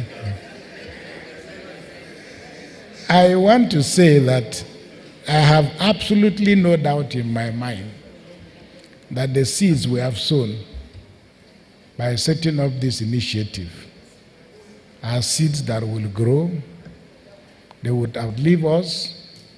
I have no illusion that we will see the fruits of what we are doing in less than the next 20, 30 or more years, by which time we'll probably all be gone. But the decision to set up this center was for me the easiest way of not going mad. Because I, the Lord has been so extraordinarily gracious to me that the first sign of government presence in Anchuna, which is my village, first sign of government presence was when the dead body of one of my cousins was brought home with a government vehicle. Uh, he had died or had been killed during the Civil War and was lucky to have his body brought. So that was the first sign of government presence in my village. And I believe that Anchuna represents or is a metaphor for millions and millions of other communities in Nigeria that our society has deliberately decided to forget. So we really have a duty and a responsibility. But after the experiences that I have had, the first thing I wanted to do when my grandmother came back from Kaduna, she was trying to explain to us, grandchildren, what Kaduna looked like. And one thing she tried to explain to us was the magic of electricity. And she spoke in such dramatic ways that, you know, it's like in Kaduna, if you choose to live in darkness, that's your business. But in the middle of the night, you can create light. And that's the way she put it. And you just create, you just place your hand on a wall, and darkness suddenly vanishes. When I decided I wanted to become a priest, it's always for the wrong reasons. The Archbishop is here, all the bishops are here. None of us can say that we went, wanted to become priests to quote unquote preach the gospel. It was always about things either we saw the sultan and we fell in love with it, uh, but in my own case, I had the joy of serving Mass and serving it in Latin. And I still remember the sentiments of holding the hem of the priest's uh, chasuble when you are saying mea culpa, mea culpa, mea. You have to bend your head in a way that it touches the hem of the. At that moment, that was my excitement. And I tried to convey this excitement to my grandmother, but she didn't because she wasn't going to church. And I said, I would like to become a priest. And my grandmother said, But like, as in, what, what do you mean? The only vehicle I saw in my life was the pickup driven by a parish priest. And whenever he sets out, I think Father Andrew is somewhere, but he wasn't old enough then. But whenever the priest set out, we will go and hide in the grass because there was one part of the road that was very bad where the motor has to stop and then crawl out. That was the time we jumped from the grass to enter the pickup. It was the only chance we had of being in a moving. And we will stay in the pickup for maybe two kilometers or three kilometers until the priest finds another bump. They will all come down and start trekking three or four kilometers back to the village. But just feel you're, you're real booger that you have entered. So when I went to my grandmother, she said to me, This priesthood, there is nobody, nobody had heard of priesthood in, in, in, the sense of an African. We had never seen a black priest. I've never even seen a seminarian. So my grandmother said, So this, what will happen to this black skin? Because the only person we saw was a white man. I told my mother, my grandmother, that they said that black people can also do this thing. He said, but where will they take this black skin to? I said, no, that even including the black skin. But she still was not persuaded until she asked me, so, like, you are a priest? You will be able to enter a vehicle and drive like this white man? I said, yes. And she said, matter is over. And I, I remembered I sleeping in her room on the floor. And I will wake up at night, wake up at one o'clock or two o'clock, whatever time. And my grandmother will be there weaving, weaving, weaving basket.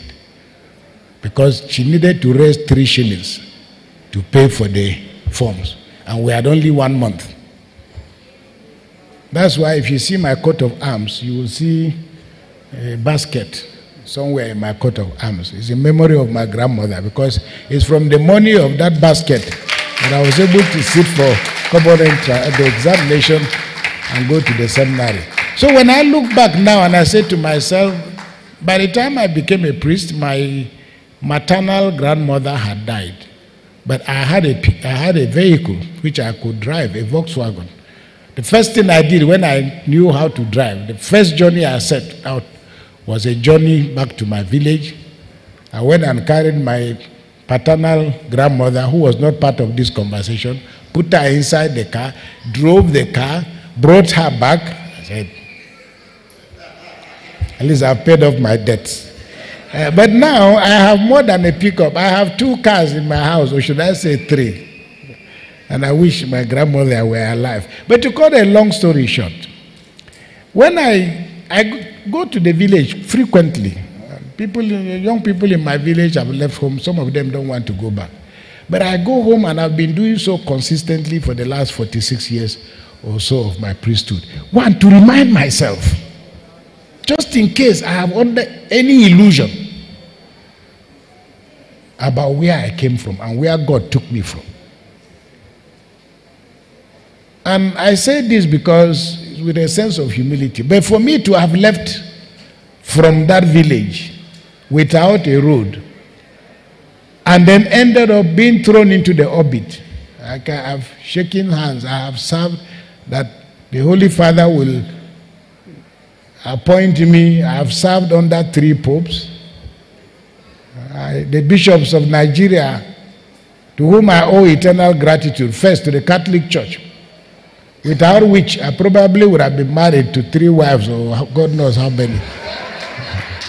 because I've seen my class, those are left behind in the village. They've got children and grandchildren, but many of them are almost working with a stoop. So I owe my eternal gratitude constantly to the church. And no sacrifice can ever be too much in defense of our faith. Some of my Protestant brothers always, one of my friends told me, he's a judge, I mean, he's a lawyer, that they were in the Supreme Court for a case. And the judge had not come, so they were chatting outside. And they overheard one or two Protestants complaining. I had written an article in The Guardian I was saying that when Father Kukah is when he's talking about this Catholic church, he's talking as if other churches don't exist. I said, Well, you eat your mother's soup, not because other women are not cooking. so, so I make the point because for the Catholic bishops of Nigeria to have taken the risk of making me Secretary General, Deputy Secretary, and then Secretary General it was a risk because I already have a mouth. And a mouth that everybody knew. And usually when we got into an argument, uh, that time Archbishop Obiefuna was our chairman, I, I would tell him, I say, Your Grace, you brought me here, you took a risk. I won't, I will never embarrass the church. I'll do my best. But I hold very, very strong views, which, unless you counter them by a superior argument, I'll do my best to defend what I know. And some years back, when we launched the strategic paper for this center, President Jonathan was still president, Archbishop Kaigama was there, Archbishop Onaiyekan was there.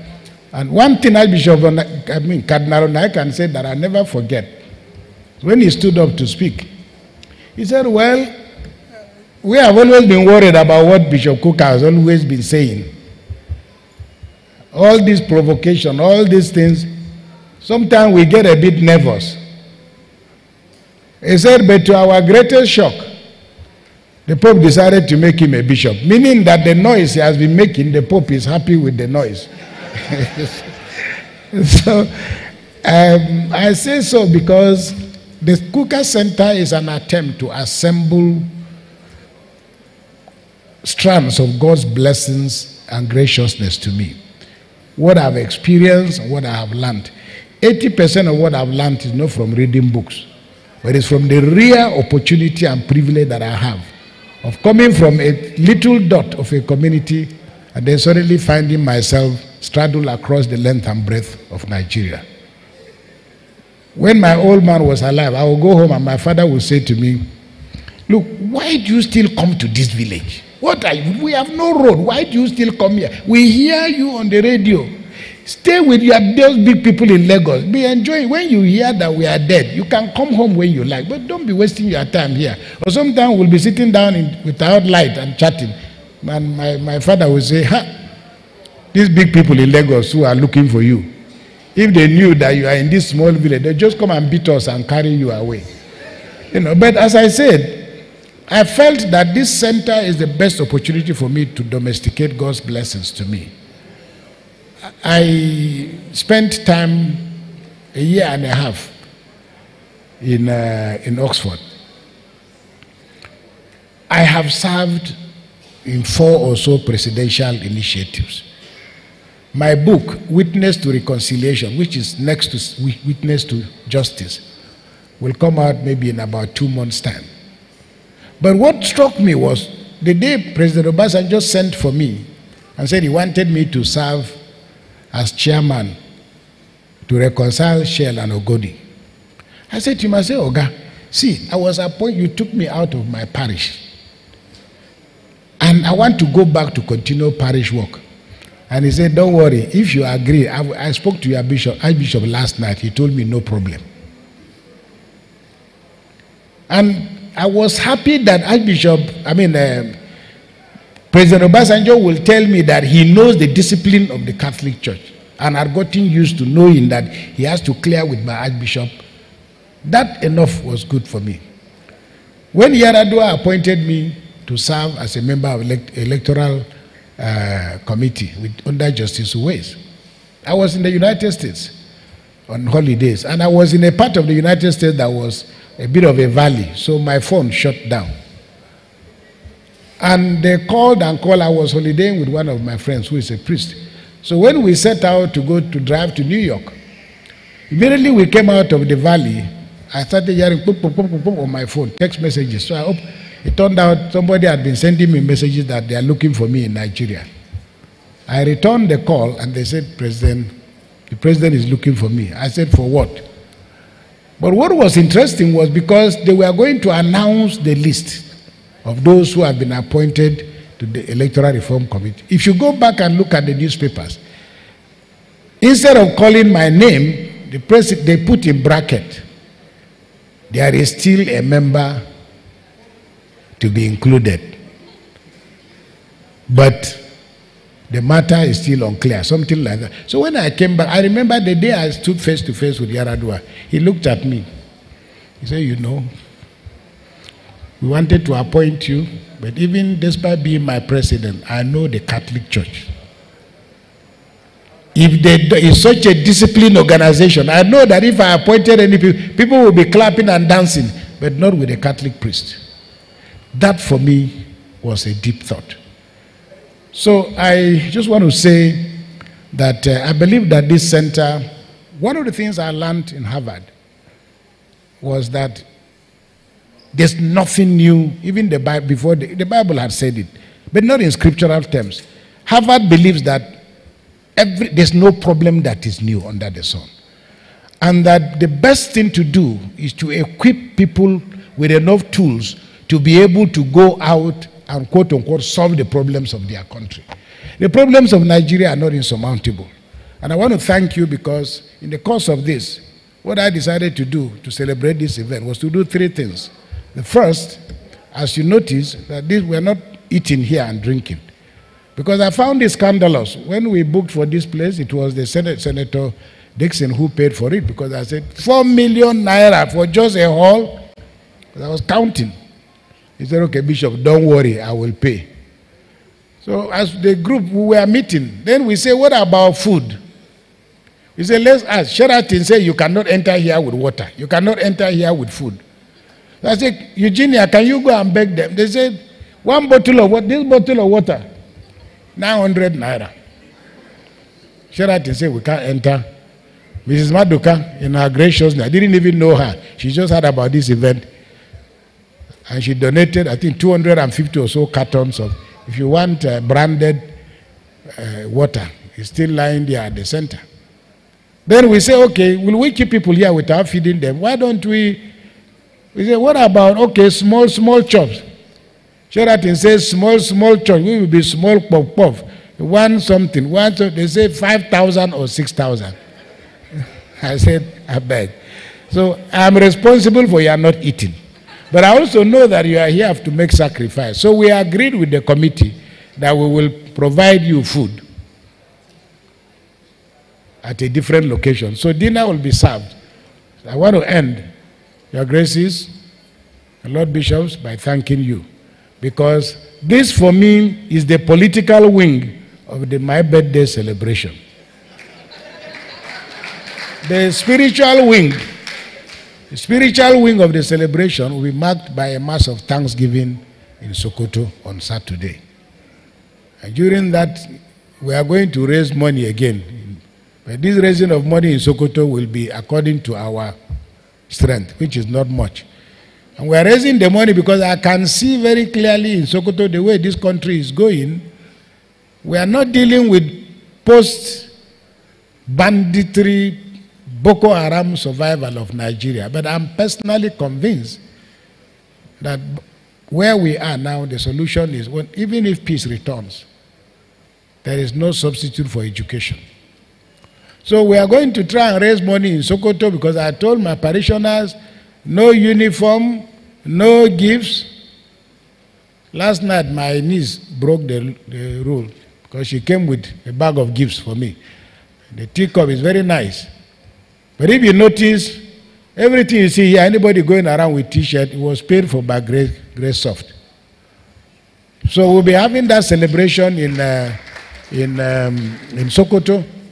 And the idea behind that celebration, among other things, for us to raise a little bit of money. If we can have a little bit of money, we can at least begin to give children some little bit of scholarships here and there, just to make sure that Boko Haram doesn't come back again after 10 or 15 years. It's the little contribution we can make.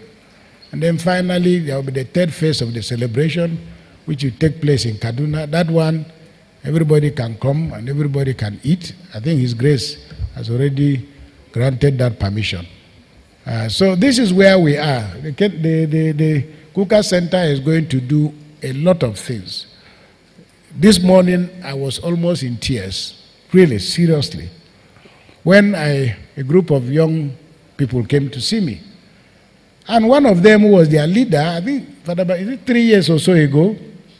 He walked into, well, they booked an appointment to see me. And when the young man saw me, he said he didn't believe that he could sit down with me face to face.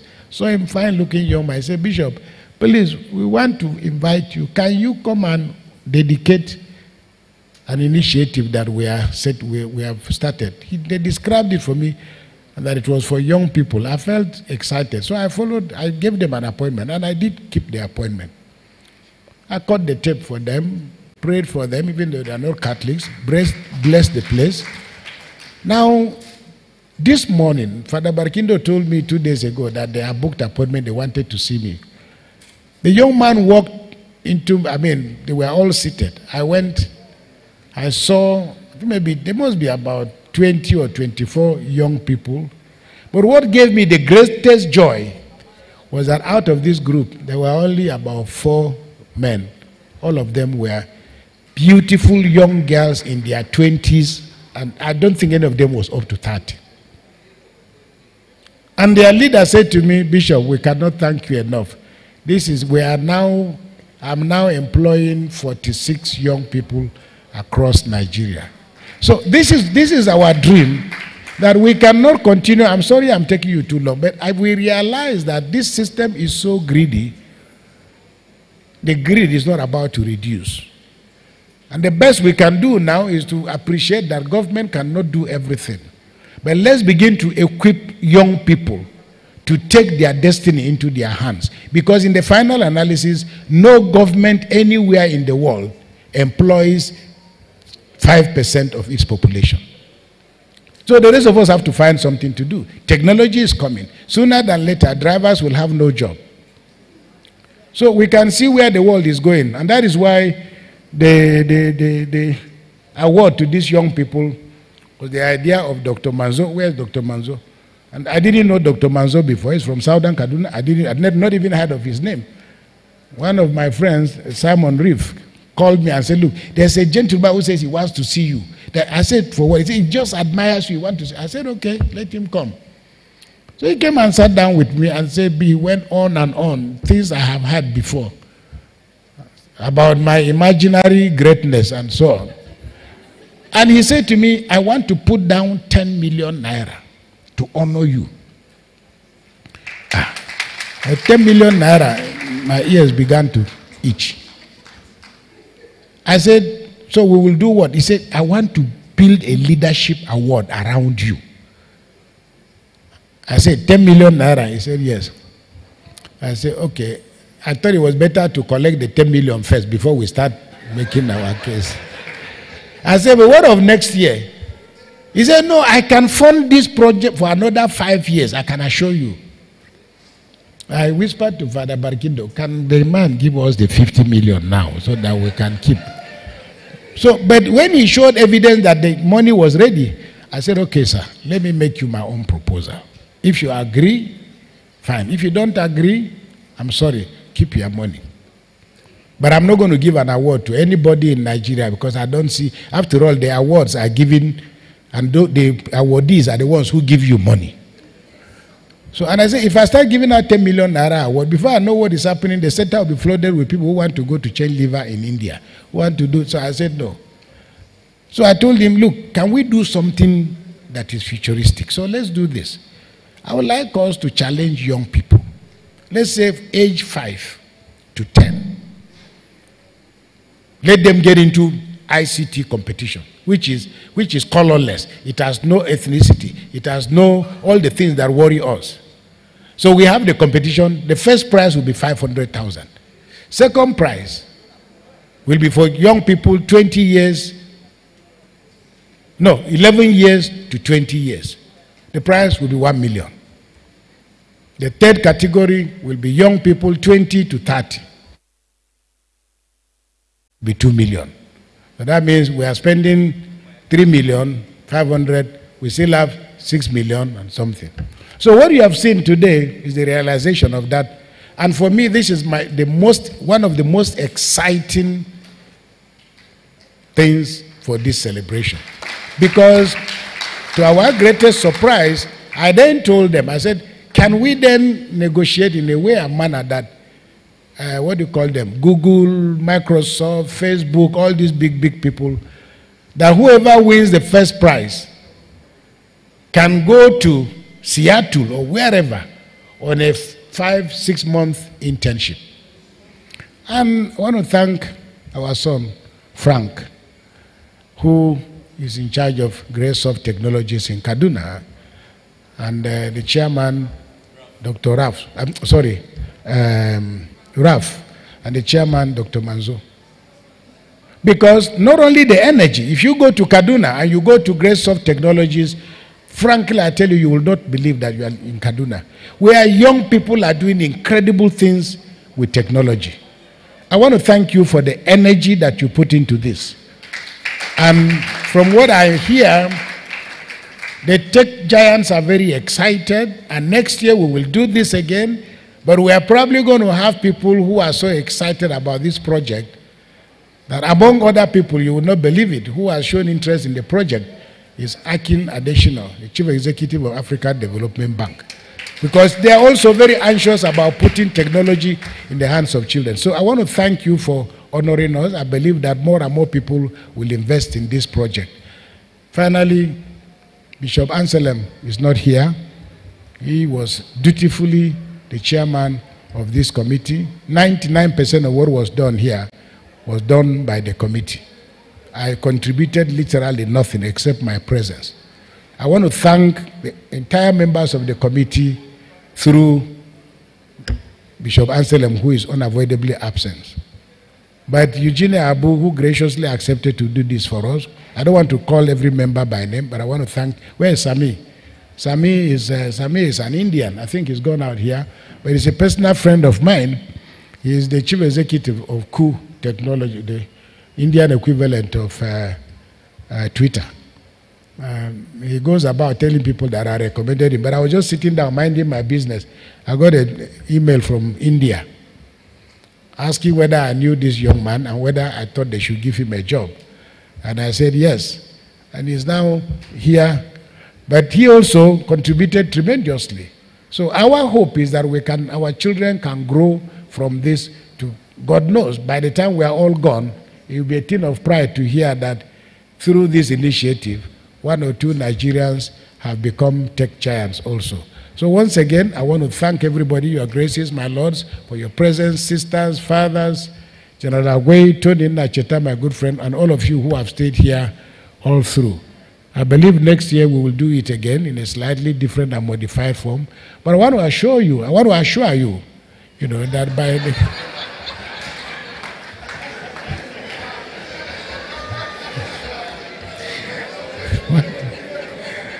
I want, I want to assure you that uh, by the grace of by the grace of God, next year this building will be completed top to bottom. I thank you very much. God bless you. Thank you.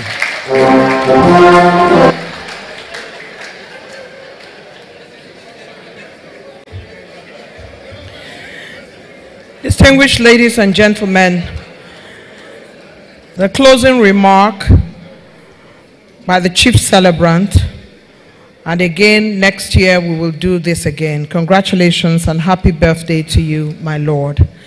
Uh, if there are any